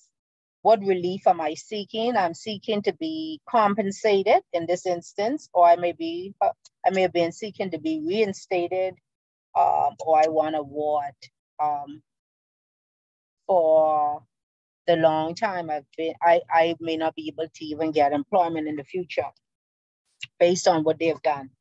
The grounds are I was working, they have um, not, they I was working for seven years. I was a supervisor. My salary went from 200 to 400. Um, my grounds are I should have been, made, I was made redundant. I should have been paid at a rate of whatever.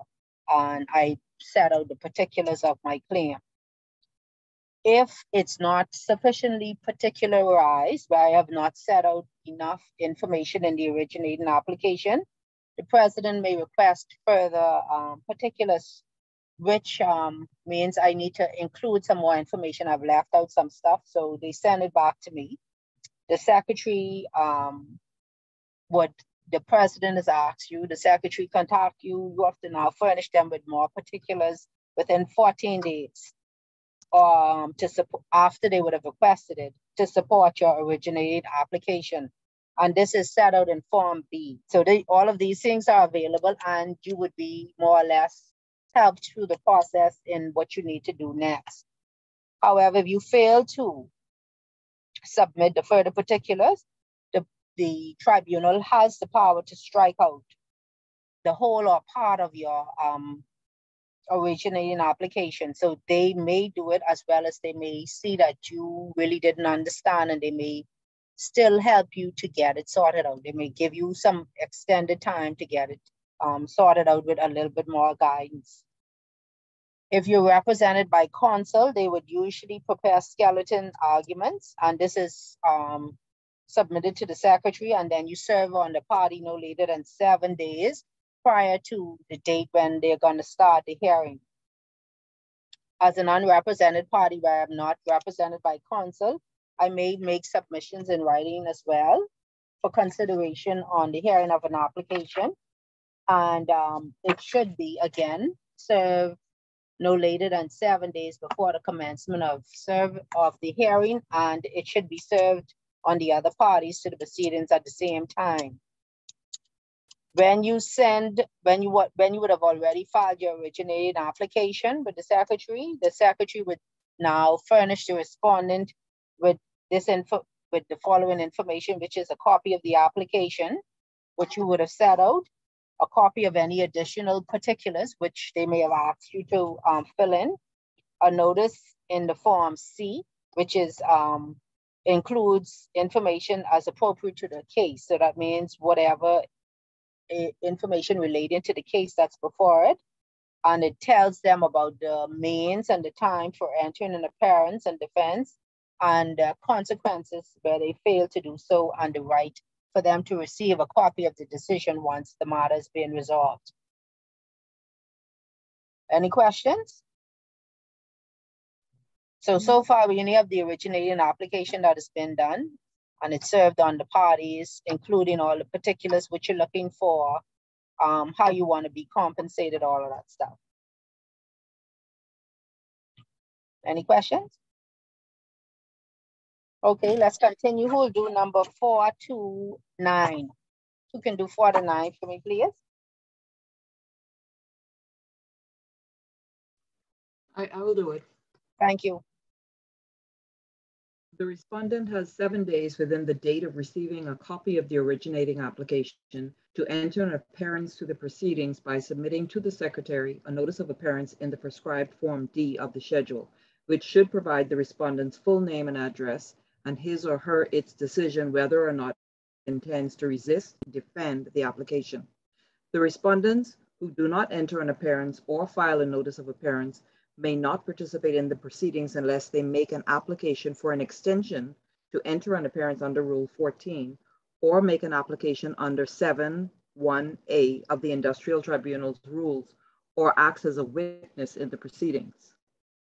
Five, the secretary sends a copy of the notice of appearance to the applicant upon receipt of the notice from the respondent. Six, a respondent who intends to resist or defend the application is required to file a defense in the prescribed Form E in the schedule within 14 days of entering an appearance to the proceeding, which sets out the particulars of the grounds to resist or defend the application. The tribunal has the power under Section 7 of the Industrial Tribunal's rules to request that further particulars be submitted by the respondent to the secretary in the prescribed form F of the schedule of the grounds to resist the originating application on application of a party or at the hearing of the originating application or of its own motion. Additionally, the tribunal also has the power under section seven to require one party to grant another discovery or any inspection of documents as a Supreme Court may have the power to do. It may also appoint a time and place for such discovery or inspection of documents to take place. On application eight, on application of a party to the proceedings in the prescribed Form G of the schedule or at the hearing of the originating application, the tribunal may require the attendance of any person, including a party, as a witness, and if it requires the person to attend as a witness, may also require him to furnish such document or documents which may relate to the matter before it, inclusive of the time and place for attendance as a witness and the production of the requested document or documents. Nine, the tribunal may require an application by a party to the proceedings in the prescribed Form H of the schedule or of its own motion require a person to furnish a written answer to any question if it considers that answer may clarify any issue or issues likely to arise in the determination of the proceedings and that it would likely assist in the progress of the proceedings for that answer to be available to the tribunal before the hearing. The requirement for a written answer is normally imposed on a party in its absence or to a person other than a party to the proceedings. that party or person may make application to vary or set aside the requirement under Form 1 of the schedule before the time required to produce the answer to the question or questions. Okay, so we have now our forms. So let's make a note of our forms as we go as well. So the respondent has seven days within the date of receiving a copy of the original application to enter an appearance. So the notice of appearance is Form D. And in that form, you would include the respondent's full name and address, and whether or not they intend to defend um, the application. So who would be a defendant in an instance where I am as an employee have made an application? The Who's the respondent? Right, the respondent. So if you don't wish to enter an appearance or you may not want to participate in the proceedings, um, if you don't enter an appearance, you may not, you will not be able to participate in the proceedings unless you make an application for an extension to enter an appearance under Rule 14. Or they may make an application under Section 1A of the industrial rules to act, or if they're acting as a witness in the proceedings. The secretary will send a notice of appearance made by the respondent to the applicant upon receipt of the notice from the respondent. If you intend to defend the application as the respondent, you would now file Form E. So Form E would be your defense. Got that? Mhm. And that's um, filed, that's um, within 14 days of entering your appearance. So we're looking at the timeline here, right? So continue following the timeline. We'll go to our timeline. Thereafter, under section seven, the, we said that the tribunal may ask for further and better particulars from the respondent, and that is Form F.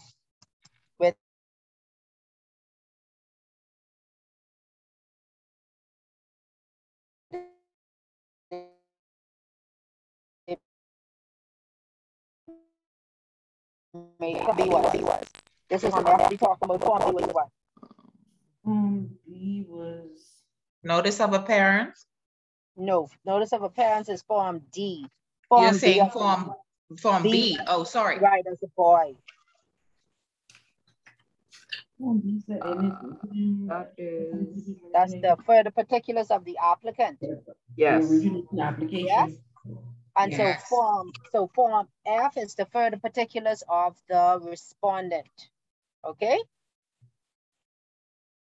So you're getting the forms, right? What Form A was? the originating application. Excellent. And so Form E, what Form E was? E, E as in Edward, Notice to defense. defend of the applicant. Yeah, defense. so your defense, excellent. So now we have Form G. What Form G is? Form G is an application for the requirement of the attendance of any party, including a party as a witness. So this is where they would now require someone to attend the tribunal hearing.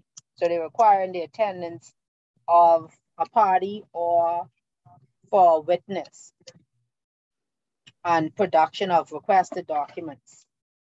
Then we have Form H. Form H is what?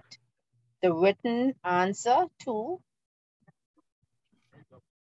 any question, if it considers the answer may be clarity to an issue. right. So we have now Form H, which now they would have, where you have a written answer, where a question was asked that needs to be clarified. And then what you can do to vary or set aside the requirement under Form One, which you'll do. What you're gonna do with Form One, you vary or set aside what?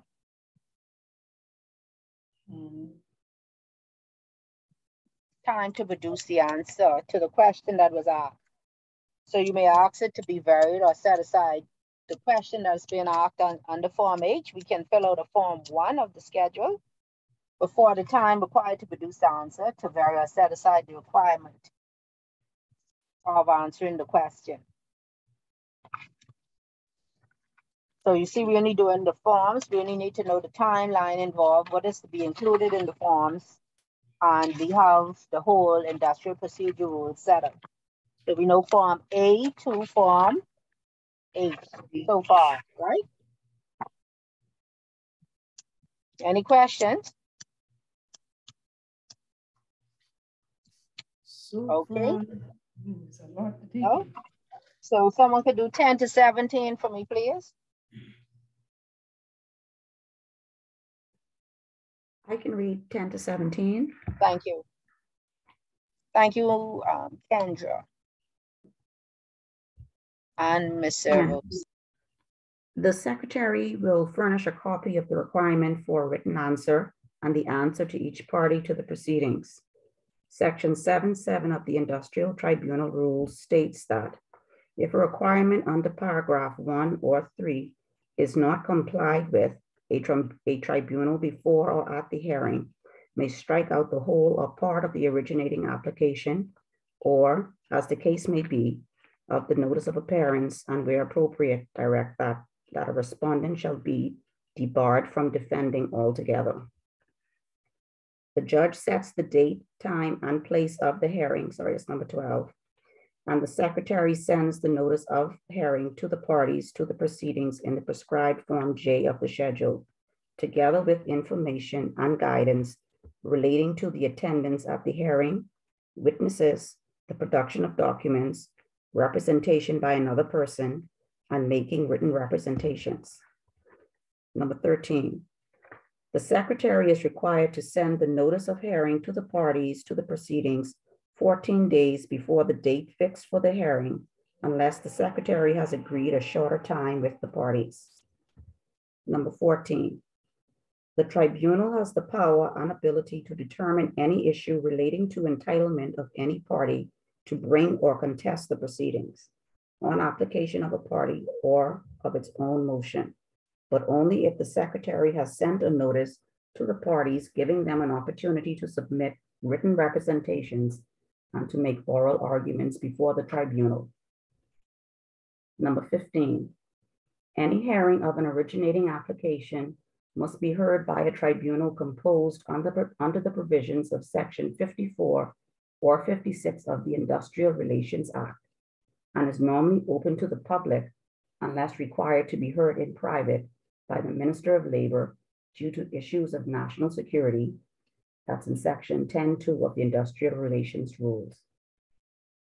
Section 10.3 states that notwithstanding paragraph two, a tribunal may sit in private for the purpose of A, hearing evidence which in the opinion of the tribunal relates to matters of such a nature that it would be against the interests of national security to allow the evidence to be given in public, or B, hearing evidence from any person which in the opinion of the tribunal is likely to consist of one, information which he could not disclose without contravening a pro prohibition imposed by or under any written law, or two, any information which has been communicated to him in confidence or which he has otherwise obtained in consequence of the confidence reposed in him by another person.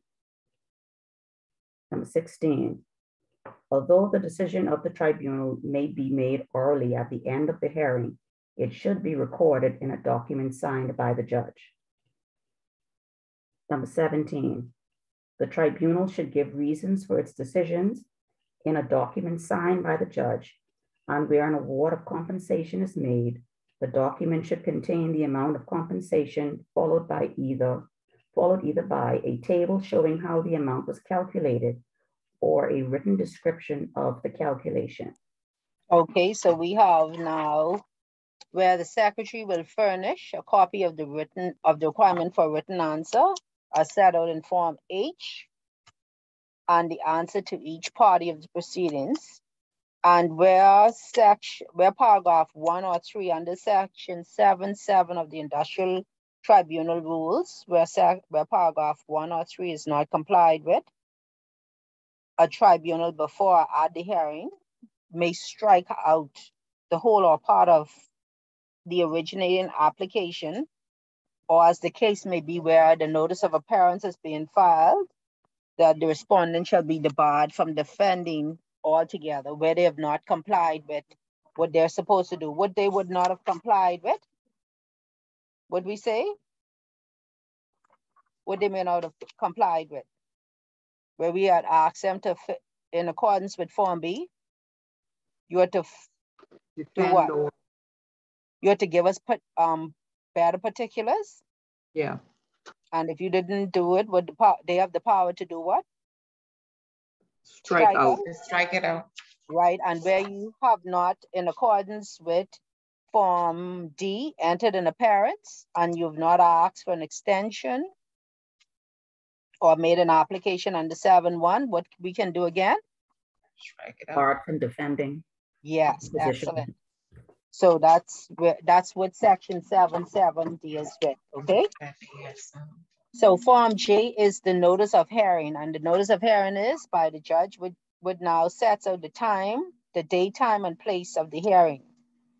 And it will give you guidance as to what is gonna happen at the hearing and witness, what witnesses should be, who are the witnesses, what documents should be produced, who's representing and who's making written representations. This is now, the notice of hearing will be sent out by the secretary to the parties 14 days before the date fixed for the hearing unless the secretary has agreed um, to a shorter time in sending this out with the parties. The tribunal also has the power and ability to determine any issue relating to the entitlement of any party to bring proceedings, but only if the secretary has sent the notice to the parties, giving them an opportunity to submit written representations and to make all arguments before the tribunal. So they said the originated originating application may be heard by a tribunal, which is composed under section fifty-four or fifty-six of the Industrial Relations Act, and it's open to the public unless there um it has been determined by um the Minister of Labor that um there's issues of national security that um should not be open to the public um, to be heard. So we have section 10.3, which deals with that, where they would um, close hearings where it's matters related to national um, security or where um, there's prohibition of information, which will likely um, impose some, will, I guess, contr- contravene some laws or um, may give information that's sensitive um, to the public to be communicated therein. So even if it's something of a confidential nature that should not be open to um, public, for the public consumption, they, um, under section 10, 2, 10, 3 of the um, industrial relations um, rules, we may now have it, um, the matter heard in private. So otherwise, this is a public um, proceeding that can, that's the public can sit in and hear um, whatever um, information or is, um, the hearing is out in the public domain, more or less. Once the decision is made, it should be recorded in a document and signed by a judge.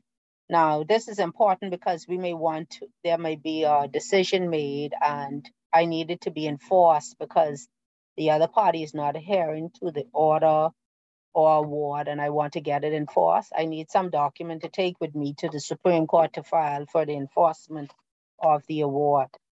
Again, um, this document or um, order should include the reasons for my, for the decision and where compensation is made.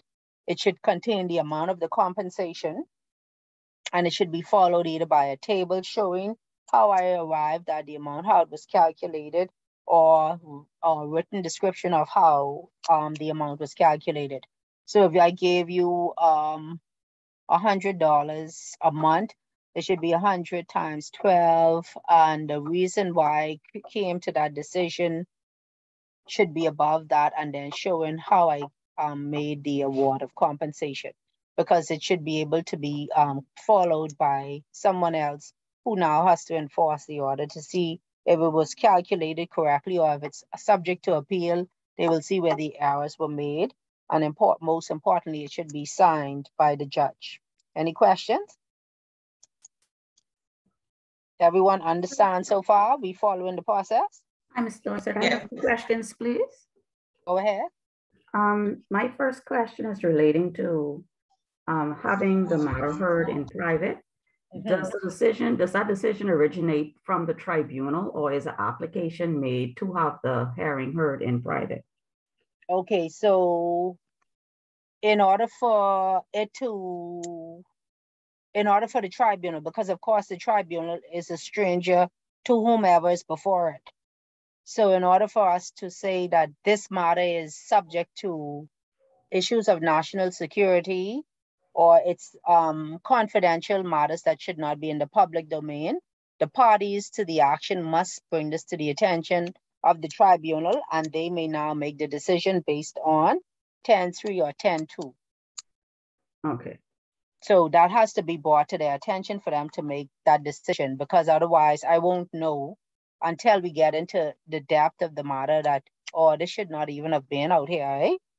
Because we won't make that decision outright. If I'm especially national security, they may have some idea or they may not even know that this would affect national security based on how it came about. But um, if it's brought to the attention by the employer or employee or whomever is before it, then they can make that decision before the matter is out in the public domain. okay. Mhm. And, and Um, this could include things like um, trade secrets or company like In KFC's. particular, right. Gotcha. So they'll say, well, no, this can't be out here, or based on what information is being um given, this cannot be in a public document in particular. So they may have um they may dispute or they may um be against you putting some information out in um in written form. They may say no. Um we uh so in some instances when you go to court, you have discretion, discretionary statements where you'll say, well, I only want the judge to be able to see this. I don't want this to be a part of the record for anybody to go on the record and be able to look at this because this will affect my company in the future. This is trade secrets, this intellectual property that should not be out there, stuff of that nature. So again, it's an application by whomever is affected to make sure that the tribunal is aware. Okay. Um, I had another question regarding the enforce, if you, if you need to enforce in the Supreme Court. Right. Um, if you have to take it to the Supreme Court, are you, are you, um, restricted to try and get enforcement for what you were awarded in the tribunal? Because I mean, it's a case where you now have the inconvenience of having to obtain counsel to go to the Supreme Court. Well, I mean, once you, and you know, cause follows the action. Okay, So if I go to court, automatically whatever costs I incur now follows. So if I have to go to court and they hold that the award has to be enforced, automatically the cost is on the party who is at fault. okay. So that's a part of damages. your, right, so you would now, so in, a- in addition to that, I want interest from the date that I should have received it to this point. I Okay, want costs for me coming here, all my application fees, all of that stuff. Okay, so you can't get dam, I know you can't get damages at the tribunal level. Are you now able to get damages for the inconvenience of having to now go to the Supreme Court? I don't know, because that would be a different application. Hmm, okay, So you only enforcing more or less. So now you only can ask for what, what you should have received to put this point. okay, And hopefully you would have gotten some interest to that point, um, that the, the, the, um, tribunal would have awarded interest. And if they've awarded interest, then you can enforce that interest amount as well. okay, all right, thank you. Mhm. Any other questions? Okay, eighteen to twenty, no, twenty-three. Let's see how we can hit that off.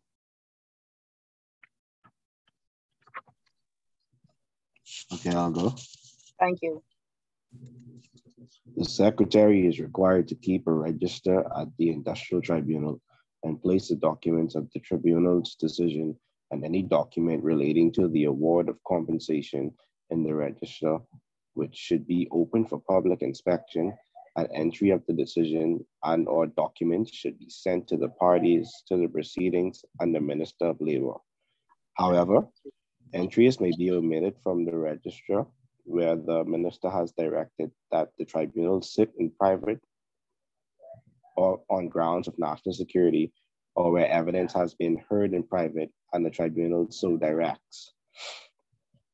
Clerical mistakes or error may be corrected by a certificate assigned by the judge, after which the secretary may make the necessary alterations slash corrections in accordance with the certificate and send copies of the amended entries to each party to the proceedings and the Minister of Labor.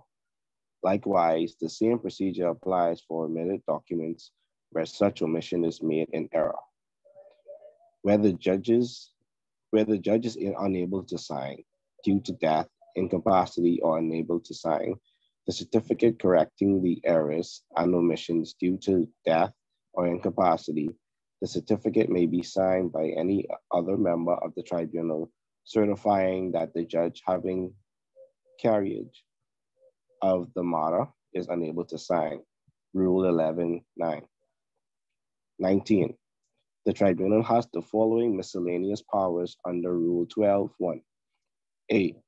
If the applicant at any time gives notice of the withdrawal of his originating application in Form K in the schedule, dismiss the proceedings. B. If both or all, all if both or all the parties agree in writing upon the terms of a decision to be made by the tribunal, decide accordingly. C. Consider representations in writing which have been submitted by a party to the secretary pursuant to Rule 3.5 and Rule 3.6 less than seven days before the hearing. D. At any stage of the proceedings, order to be to be struck out or amended any notice of appearance or defense on the grounds that it is scandalous, frivolous, or vexatious. vexatious. E, at any stage of the proceedings, order to be struck out any originating application, notice of appearance, or defense on the grounds that the manner in which the proceedings have been conducted by or on behalf of the applicant or as the case may be, the respondent has been scandalous, frivolous, or vexatious. And F, on the application of the respondent or of its own motion, order an originating application to be struck out for want of prosecution. A tribunal may, before determining an application under Rule 7 or Rule 16, require the party making the application to give notice of it to every party and such notice shall give particulars of the application and indicate the address to which the time within which any objection to the application shall be made, being an address and time specified for the purposes of the application by the tribunal. The judge may postpone the day or time fixed for or adjourn any hearing and vary such postponement or adjournment. Any function of the secretary may be formed by a person acting with the, the authority of the secretary. 20. In any case involving allegations of the sexual misconduct, the judge before a decision is made either on application by the party made by notice to the secretary or of its own motion, make a restricted, restricted reporting order. When a restricted reporting order is made, it is it must specify in the order the persons who may not be identified and that the order will remain in force until the decision is made or earlier if it is revoked. The secretary is required to post a notice of the restricted order and its conditions on the notice board of the tribunal and the door of the proceedings relating to the order. 21. The tribunal may extend the time for any procedural action required under the industrial tribunal rules upon application by a party of its own motion. The application of the application for an extension of time should be made in the prosecution form L of the schedule of, of the schedule to the secretary and settled title proceedings. And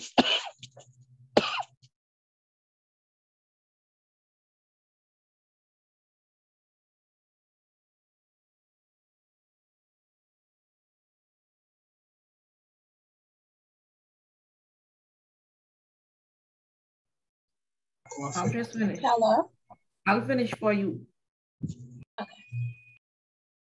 Um, 21. The tribunal may extend the time for any procedural action required on the industrial tribunal rules upon application by a party or of its own motion. The application for an extension of time should be made in the prescribed form L of the schedule to the secretary and set out the little and set out the title of the proceedings and particulars of the grounds for requesting an extension of time. The secretary must send copies of the notice of extension of time to all parties to the proceedings. 22. The tribunal may give directions on any matter in connection with or related to the proceedings before it on application by a part or of its own motion. A notice of application must be made to the secretary to request directions to be given by the tribunal and shall contain the title of the proceedings and particulars of the grounds of the application for directions, Form M. The tribunal also has the power to join parties to or dismiss parties from a proceeding who appears to the tribunal to not have been or has ceased to be directly interested in the proceedings on application of any person to the proceedings or of its own motion. Once application is made to the secretary to do so,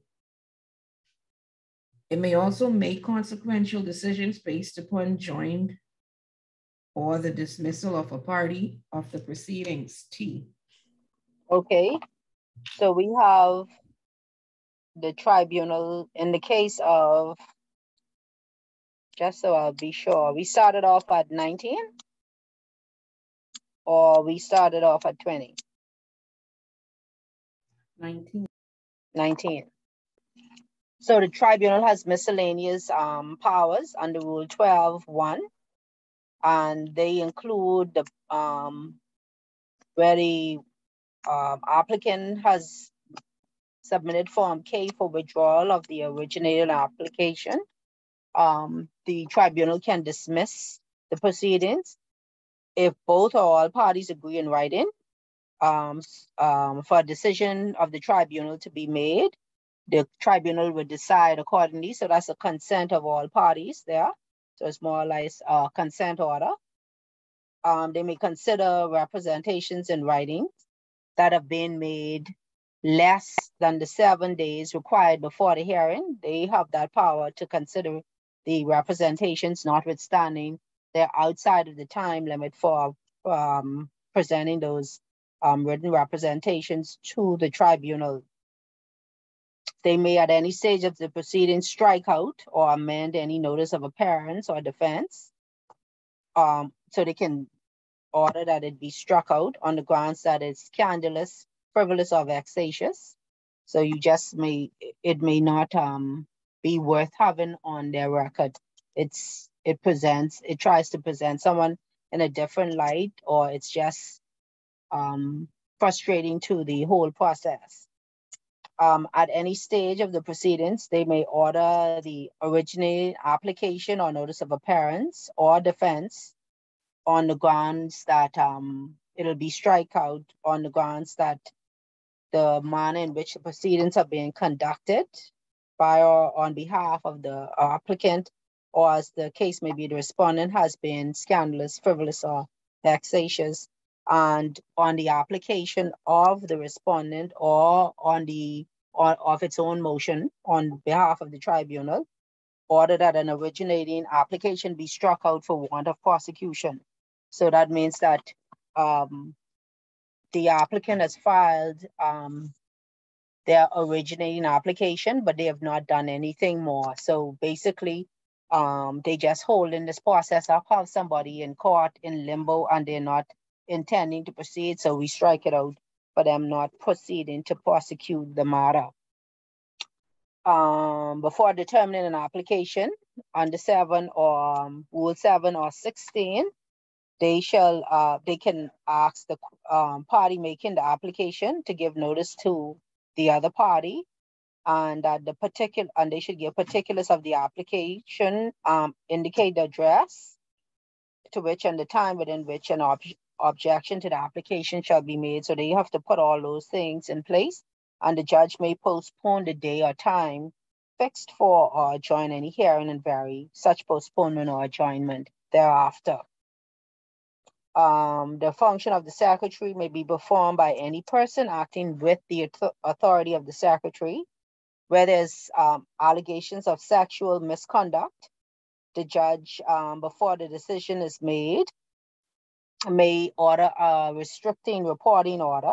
And this is where they will not identify the party. They would put that the order should not include or identify the party um, in these um, allegations, in sexual allegation cases uh, in the order uh, until such order, restricted reporting order, is revoked. And they will put this notice so that all parties involved will know that there's a restricted order and the conditions of the restriction on the notice board of the tribunal and the door of the proceedings where the order is now been given so that everybody who's a party to proceedings will know that this um, should not be out in the public domain. There's restriction on how you would discuss the matter. Then we have um, an extension of time. You can now apply for an extension of time in Form L. That's Form L, extension of time. And you should include the grounds why you're requesting an extension of time for consideration. And once you would have um, sent that on, the secretary will send a notice of extension of time to all the parties to the proceedings. Then we have Form M, where you're requesting directions of the tribunal. And so it will be made to the secretary asking for directions in connection with any matter or um, relate, connected with or relating to the proceedings before the tribunal. So that's Form N.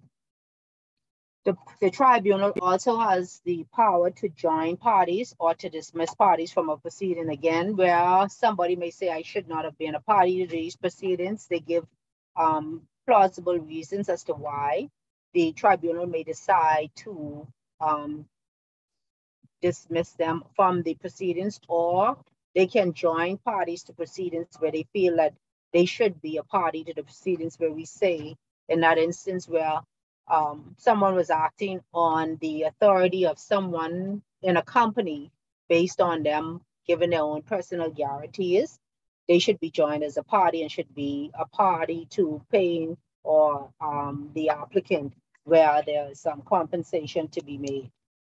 Any questions? Okay, let's. I'm sorry, Ms. Fawcett, I have a question, please. Oh, go ahead. Um, regarding an originating application that you want to have struck out for want of prosecution. Right. Is there a time frame um, in which uh, you have to, I guess, progress the matter? Like how you have in the Supreme Court, if you were to file a writ and you have a time frame which to file your statement of claim, if you won't do it within that period of time, you can apply to have it struck out. Right. So now we the have time, time right. So we have time frames in, involved, right? Where we started out, remember I said, well, let's pay attention to our timelines. So now you have what, when you start out the application, you have 14 days after referral from the Minister of Labor to file your originating application. Right. Where the president now may say you have not given enough particulars, you have 14 days to furnish the particulars from the date on which you were um, directed to do so. Mm-hmm. Now, you if you have not furnished that, what happens there? We can now what? You can have the matter dismissed. Struck out, right? Mm -hmm. Because you have not complied and you are yes, not proceeded. So, right. So we have as early as that portion to now 28 say, days? we Okay. have, right, if, if it's twenty-eight days, because it may just be the fourteen day, if you've not come back to me, then I still have time because now you have to file your defense and all of that stuff. But if I've done everything that I'm supposed to do, or if I've not done what I was supposed to do, then I can now ask for it to be struck out or the tribunal of its own volition may now strike it out. So at Okay. any point where these timelines are not followed, we can now say strike it out for want of Mm, okay. prosecution. You see? Okay, all right, okay. Yes. Um, I have a question on the, the sexual misconduct. Right. Um, that comes up in a tribunal matter. It, at what point would there, could there be a decision that the matter is criminal or otherwise that would fall out of the jurisdiction of the tribunal? Okay, so in where there's allegations of sexual misconduct, you know, you would have a criminal side and a civil side. Mhm. Yes. So where there was some criminal activity involved, that's a different side of. You remember, we only dealing with civil. We Uh, dealing with the civil side of things here.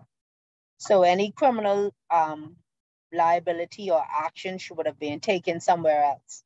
Okay, so this would be an additional step that a respondent could take for Right, right. So of the, right. thing. So I'm now suing my workplace based on sexual misconduct or allegations of sexual misconduct that I may have been exposed to. And my case Okay. will be bolstered by the criminal um, liability that may have been found um, in the magistrate or Supreme Court to say that this person actually had um, um, committed some sexual um, acts uh, against me. So that's like in a traffic case, I was in an accident. First of all, the traffic, um, the, you have to go to traffic court and be found liable, eh?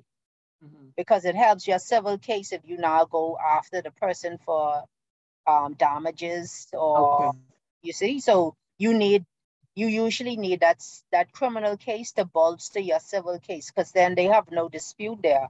They can't say, well, I am not at fault because you've already been found criminally negligent, you see? okay. So that's what it usually happens. So they, they don't have jurisdiction, one don't have jurisdiction. So the civil court don't have jurisdiction over the civil, uh, the criminal court.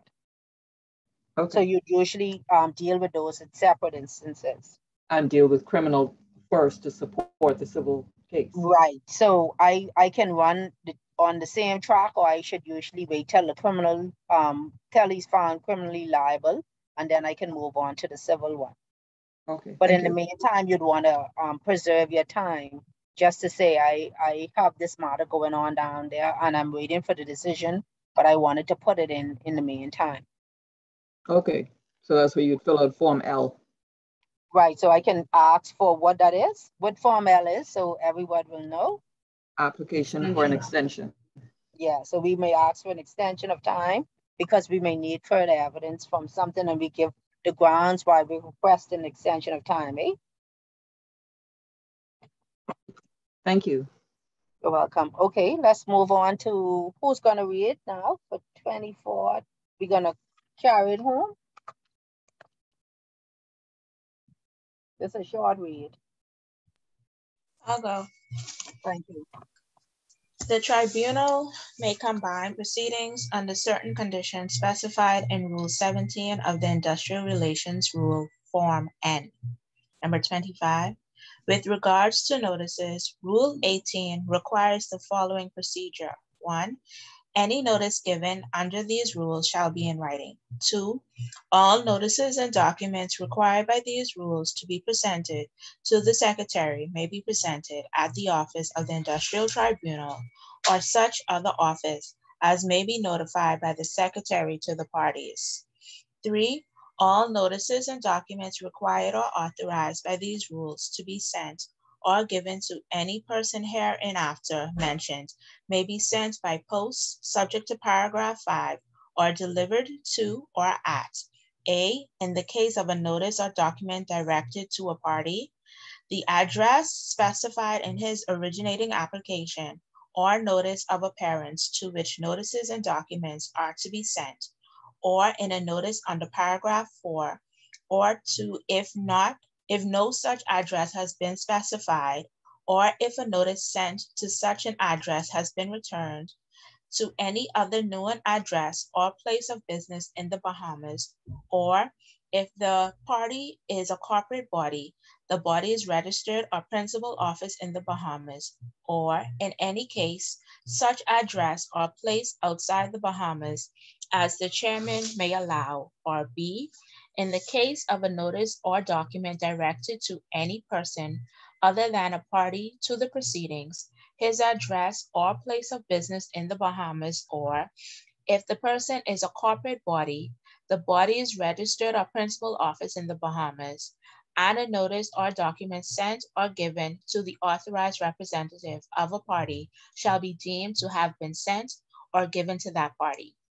Four, a party may at any time by notice to the secretary in Form P in the schedule and to the other party or parties change the address to which notices and documents are to, to be sent to him. Five, the registered postal service shall be used instead of the ordinary post when a second set of notices or documents is sent to a respondent who has not entered an appearance under Rule 5.1 and for the service of an order made under Rule 7.2. Six, the judge may direct that there shall be substituted service in such manner as he may deem fit in any case he considers appropriate. Okay, so we have Form N where the tribunal may combine proceedings. So the um, Form N deals with combining proceedings under certain conditions as specified in Rule 17. And Rule 18 deals with notices. So Rule 18 says notices under these rules, so notices and documents required to be presented to the secretary may be presented at the office of the tribunal and such other office as the secretary may notify to the parties. All notices and documents required or authorized by these rules may be sent or given to a person here and after mentioned, may be sent by post subject to paragraph five or delivered to or at, in the case of a notice or document directed to the party to their address, whereas the company to the registered office, the last known address, and where we don't have um, the parties where we are unable to get the document served on the parties or the address is insufficient and it's returned, we can now um, request the judge, let them know we can't find the person, and they may give us an order for substituted service, which means that um, substituted service could be we publish it in the post um, I mean, publish it in the newspaper or by social media or whatever means necessary so that it would be said that it was out in the, gen- in the general public and they had sufficient time to read the notice. Okay. Um, they can do change of address. Um, and that's Form P.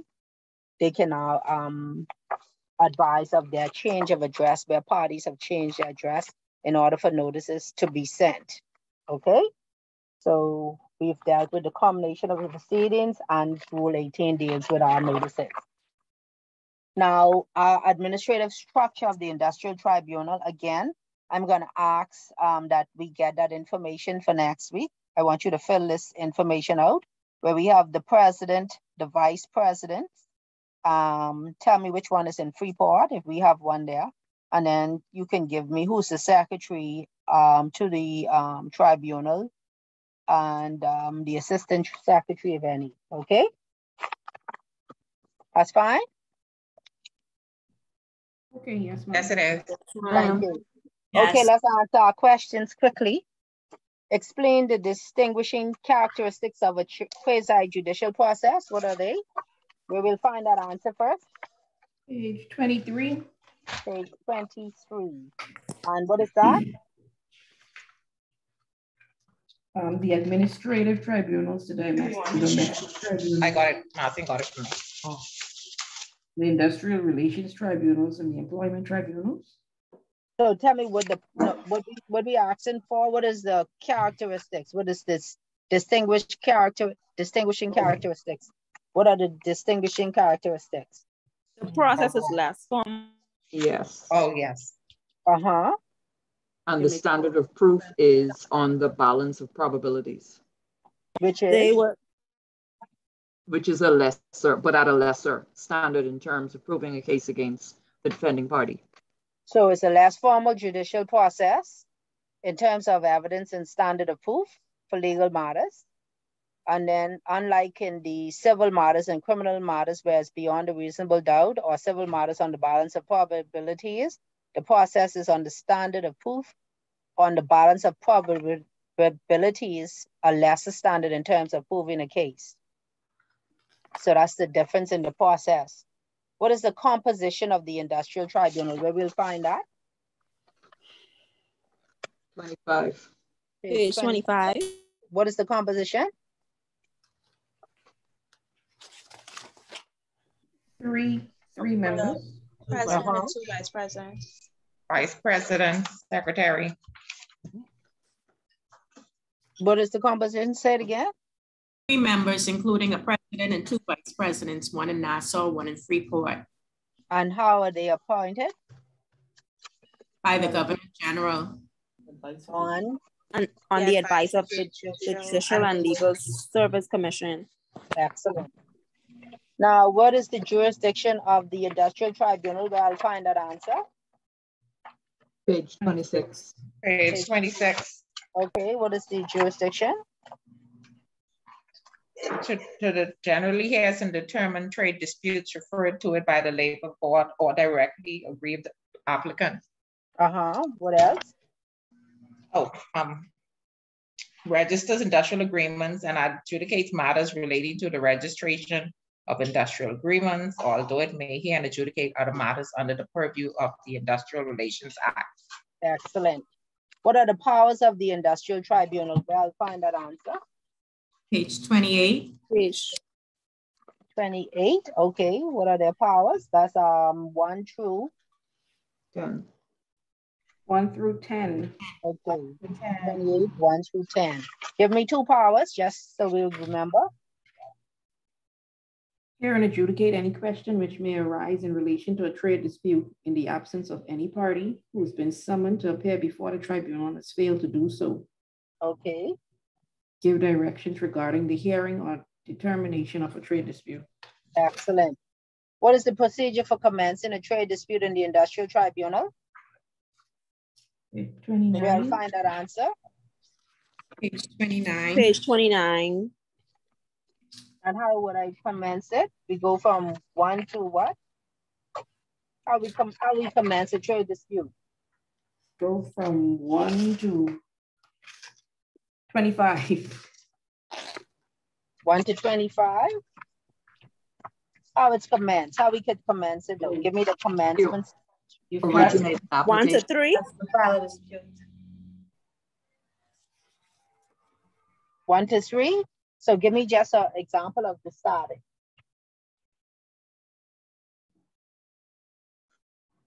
File How you the- started? File a trade dispute with the Ministry of Labor Right, through the Labor Board by um creating an origination or an originating application.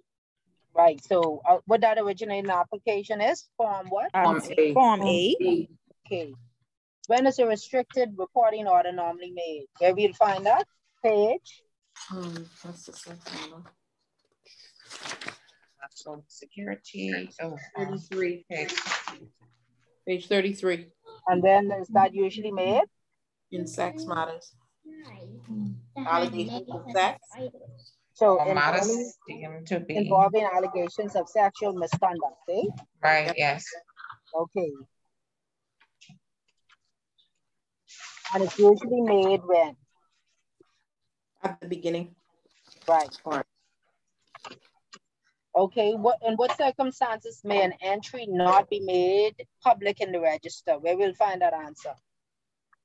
On page thirty-three, eh? Page thirty-three, 32. page thirty-two? What page thirty-two tells us? Matters of national security. Any hearing of an originating application must be heard by a tribunal composed under the provisions of section fifty-four or fifty-six of the Industrial Relations Act and is normally open to the public unless required to be heard in private by the Minister of Labor due to issues of national security. Okay, page thirty-two.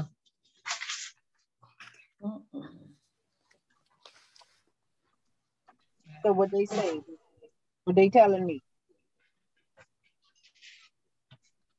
Matters related to national security can be private. Hearing evidence in which, in the opinion, the tribunal relates to matters of such nature would be against the interests of national security, could So not be disclosed without contravening a prohibition imposed by or under any written law. Okay, yeah, hearing and evidence from, yeah, notwithstanding paragraph two. Yeah, So they, what they'll do with that? Wh- Where they say, tell me y'all still didn't get to it.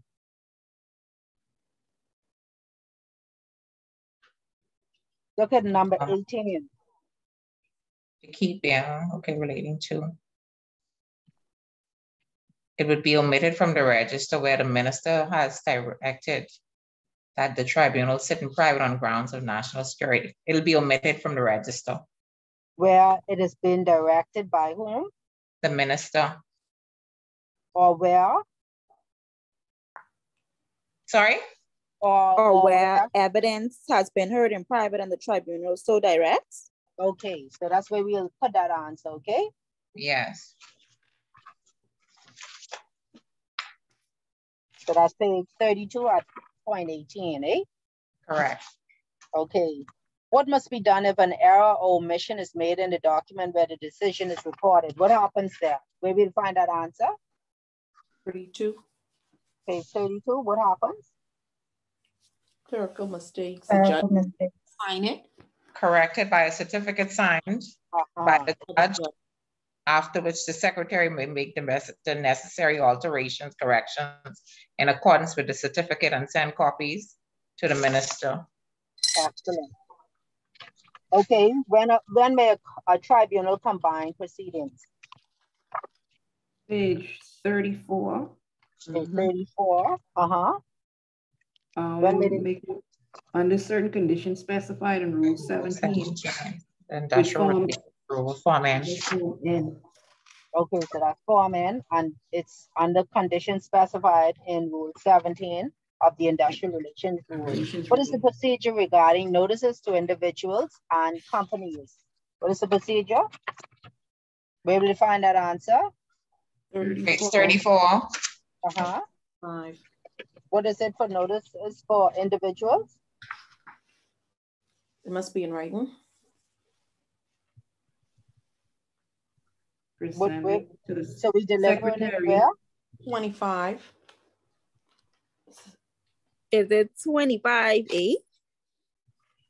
Tell me, tell me, tell me. In the case of a notice or document directed to a party, So first of all, the notice must be in what? Writing, shall be in writing, Okay, and then it must do what? present to the secretary. present to the secretary, Uh-huh, at the office of the tribunal. Okay, and then what else? It must be sent or given to any person Mention Here, mention, mention, Right. by what? post, by Uh-huh. post or delivered personally to them at the address. The Wh- in- Which address? application. Right. Or notice of appearance to which documents, and in the case of a company where we'll send it? to the registered address. To the registered address, yes. Yes, principal office in the Bahamas. Okay? All right, so that was a big one to digest, eh? We know the industrial tribunal and employment tribunal. Yes, yes, we have uh, lot. awareness. Okay, we have an awareness and appreciation of the quasi judicial and the process. yes. Yes, or you're just saying yes, right? So, yes, yes. No, it's, it's very interesting indeed. Okay, good. We have an in-depth knowledge of the rules and procedures of the Bahamas Industrial Tribunal. We should be able to go from A to N, or, yeah, Um, A little bit further than that. we should go right straight to all the forms now, eh? We, we know the rules and procedures, we know the timelines. We know how to combine. Who's gonna combine proceedings, us or the judge? The judge. The judge. Excellent. We know the workings of the Bahamas Industrial Tribunal. Yes. What happens when we don't file in time, what they may do, Strike it out. Right? Unless we ask for An extension. Extension. extension of time. And when we ask for extension of time, would we have to give in order for them to consider it? Um, L. Our grounds why we need this extension, eh? Yeah. Um, what about the appeals process for appeals to the Supreme Court and Court of Appeals from the, the from the Industrial Tribunal? That's where we appeal. Yes. We'll appeal, we can appeal to the Supreme Court or further to the Court of Appeal. And where can we enforce orders? The Supreme Court. Can the Industrial Tribunal enforce its own orders? No. Okay, and when we go to the Supreme Court, we should get our costs for now having to enforce our order, eh? Yes. And, and any interest that may have been awarded. Okay, so we have some homework. We need to know who's the what? Who makes up the? Vice President and Child the Vice Vice President. Okay, so so we have that as a part of our homework, eh? Hmm. And then I will send you a case out of here just so y'all have some reading, okay? Yes. Any questions? Miss Miss Dorset, Mhm. um, you don't have my email. Okay, let me write it down now. You want to send it in the chat so I don't write it wrong? Yes, ma'am, I'll send it. Okay, send it right now for me, please. Thank you. Thank you too. I have everybody on the register. Let me Yeah. make sure. I called everyone's name, right? Yes, ma'am. Okay, I see someone as P Farkas and I don't have that person. Okay, That's Paul Farquharson from our office. okay, let me write that Cherry, down. Cherry, Cherry. P Farquharson. Yeah. Okay. Yes, I- I, I sent, I sent the email um, to you directly. Okay, let me put you, I, you got any emails from me, Mr. Farquharson? No, I, I did not. Okay, I'll write all of you down. You. I'll send you the email I sent out earlier, um, at least yesterday, so y'all will have that one. All right, thank you very much. Thank you too. Uh, I joined late. Okay, let me write you down. Who's that? Who joined late? Laura Stewart. Laura Stewart. Yes, ma'am. Let me see if I have you. I don't have you. You want me to send? my email? You, you, you got any emails from me? No, ma'am. Okay, yeah, send me your email quickly, yeah? Before we close the chat. I- I'll be able to see it. I have, ev- everybody else got the emails, right? Yes. Yes, I did. Yes, ma'am. Oh, Yes, ma'am. okay. All righty then. So I Right, will this is see, Dorset. uh-huh, Uh, All of the cases that's noted in the study resource guide, are we required to know all of these cases? no, no, it's just um helpful in you explaining any questions. It usually helps you out in understanding the topic even better as well, because it's more or less, you know, the cases present a little story. Yeah, And so I usually, was just, I I was just wondering. on, so she unless coming, what have- what time she coming? Unless you have access to, um, like a Some Lexis Nexis. right, I'll try to, I usually from the house try to And even if some it ain't ringing cases. through, just stay there and listen, it'll, it'll, she'll answer. What do you need? Okay. I will usually try to send you some um resources as well. Okay, thank you very much. Yes, no problem. Yes. That's it? Yes, Um, just confirming the homework is the, um, administrative structure of the industrial tribunal. right, you're gonna get that for me. Yes, ma'am. And we'll discuss that. Um, we'll just have that in our box. You see, it's easier for you. You should know it anyway. Two two one two at Gmail. Okay, I think I have everybody's. So all who send me emails didn't get an email from me, so I'll send you emails, okay? Thank you. And I'll send you some additional resources for this week's class as well. Thank you. Okay, thank Thank you so much. And I will see you guys next week, God's willing. Enjoy the rest of your week. Thank You you. too. Take thank care. you. Mm. Okay.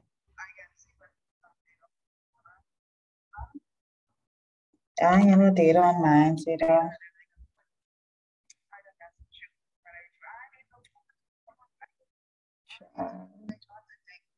Hmm?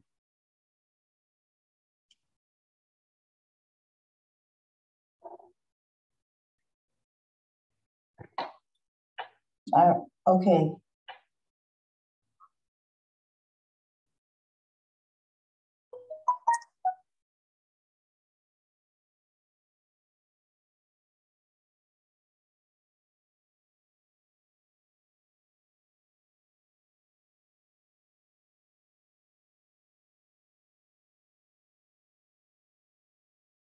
That's right, don't forward me.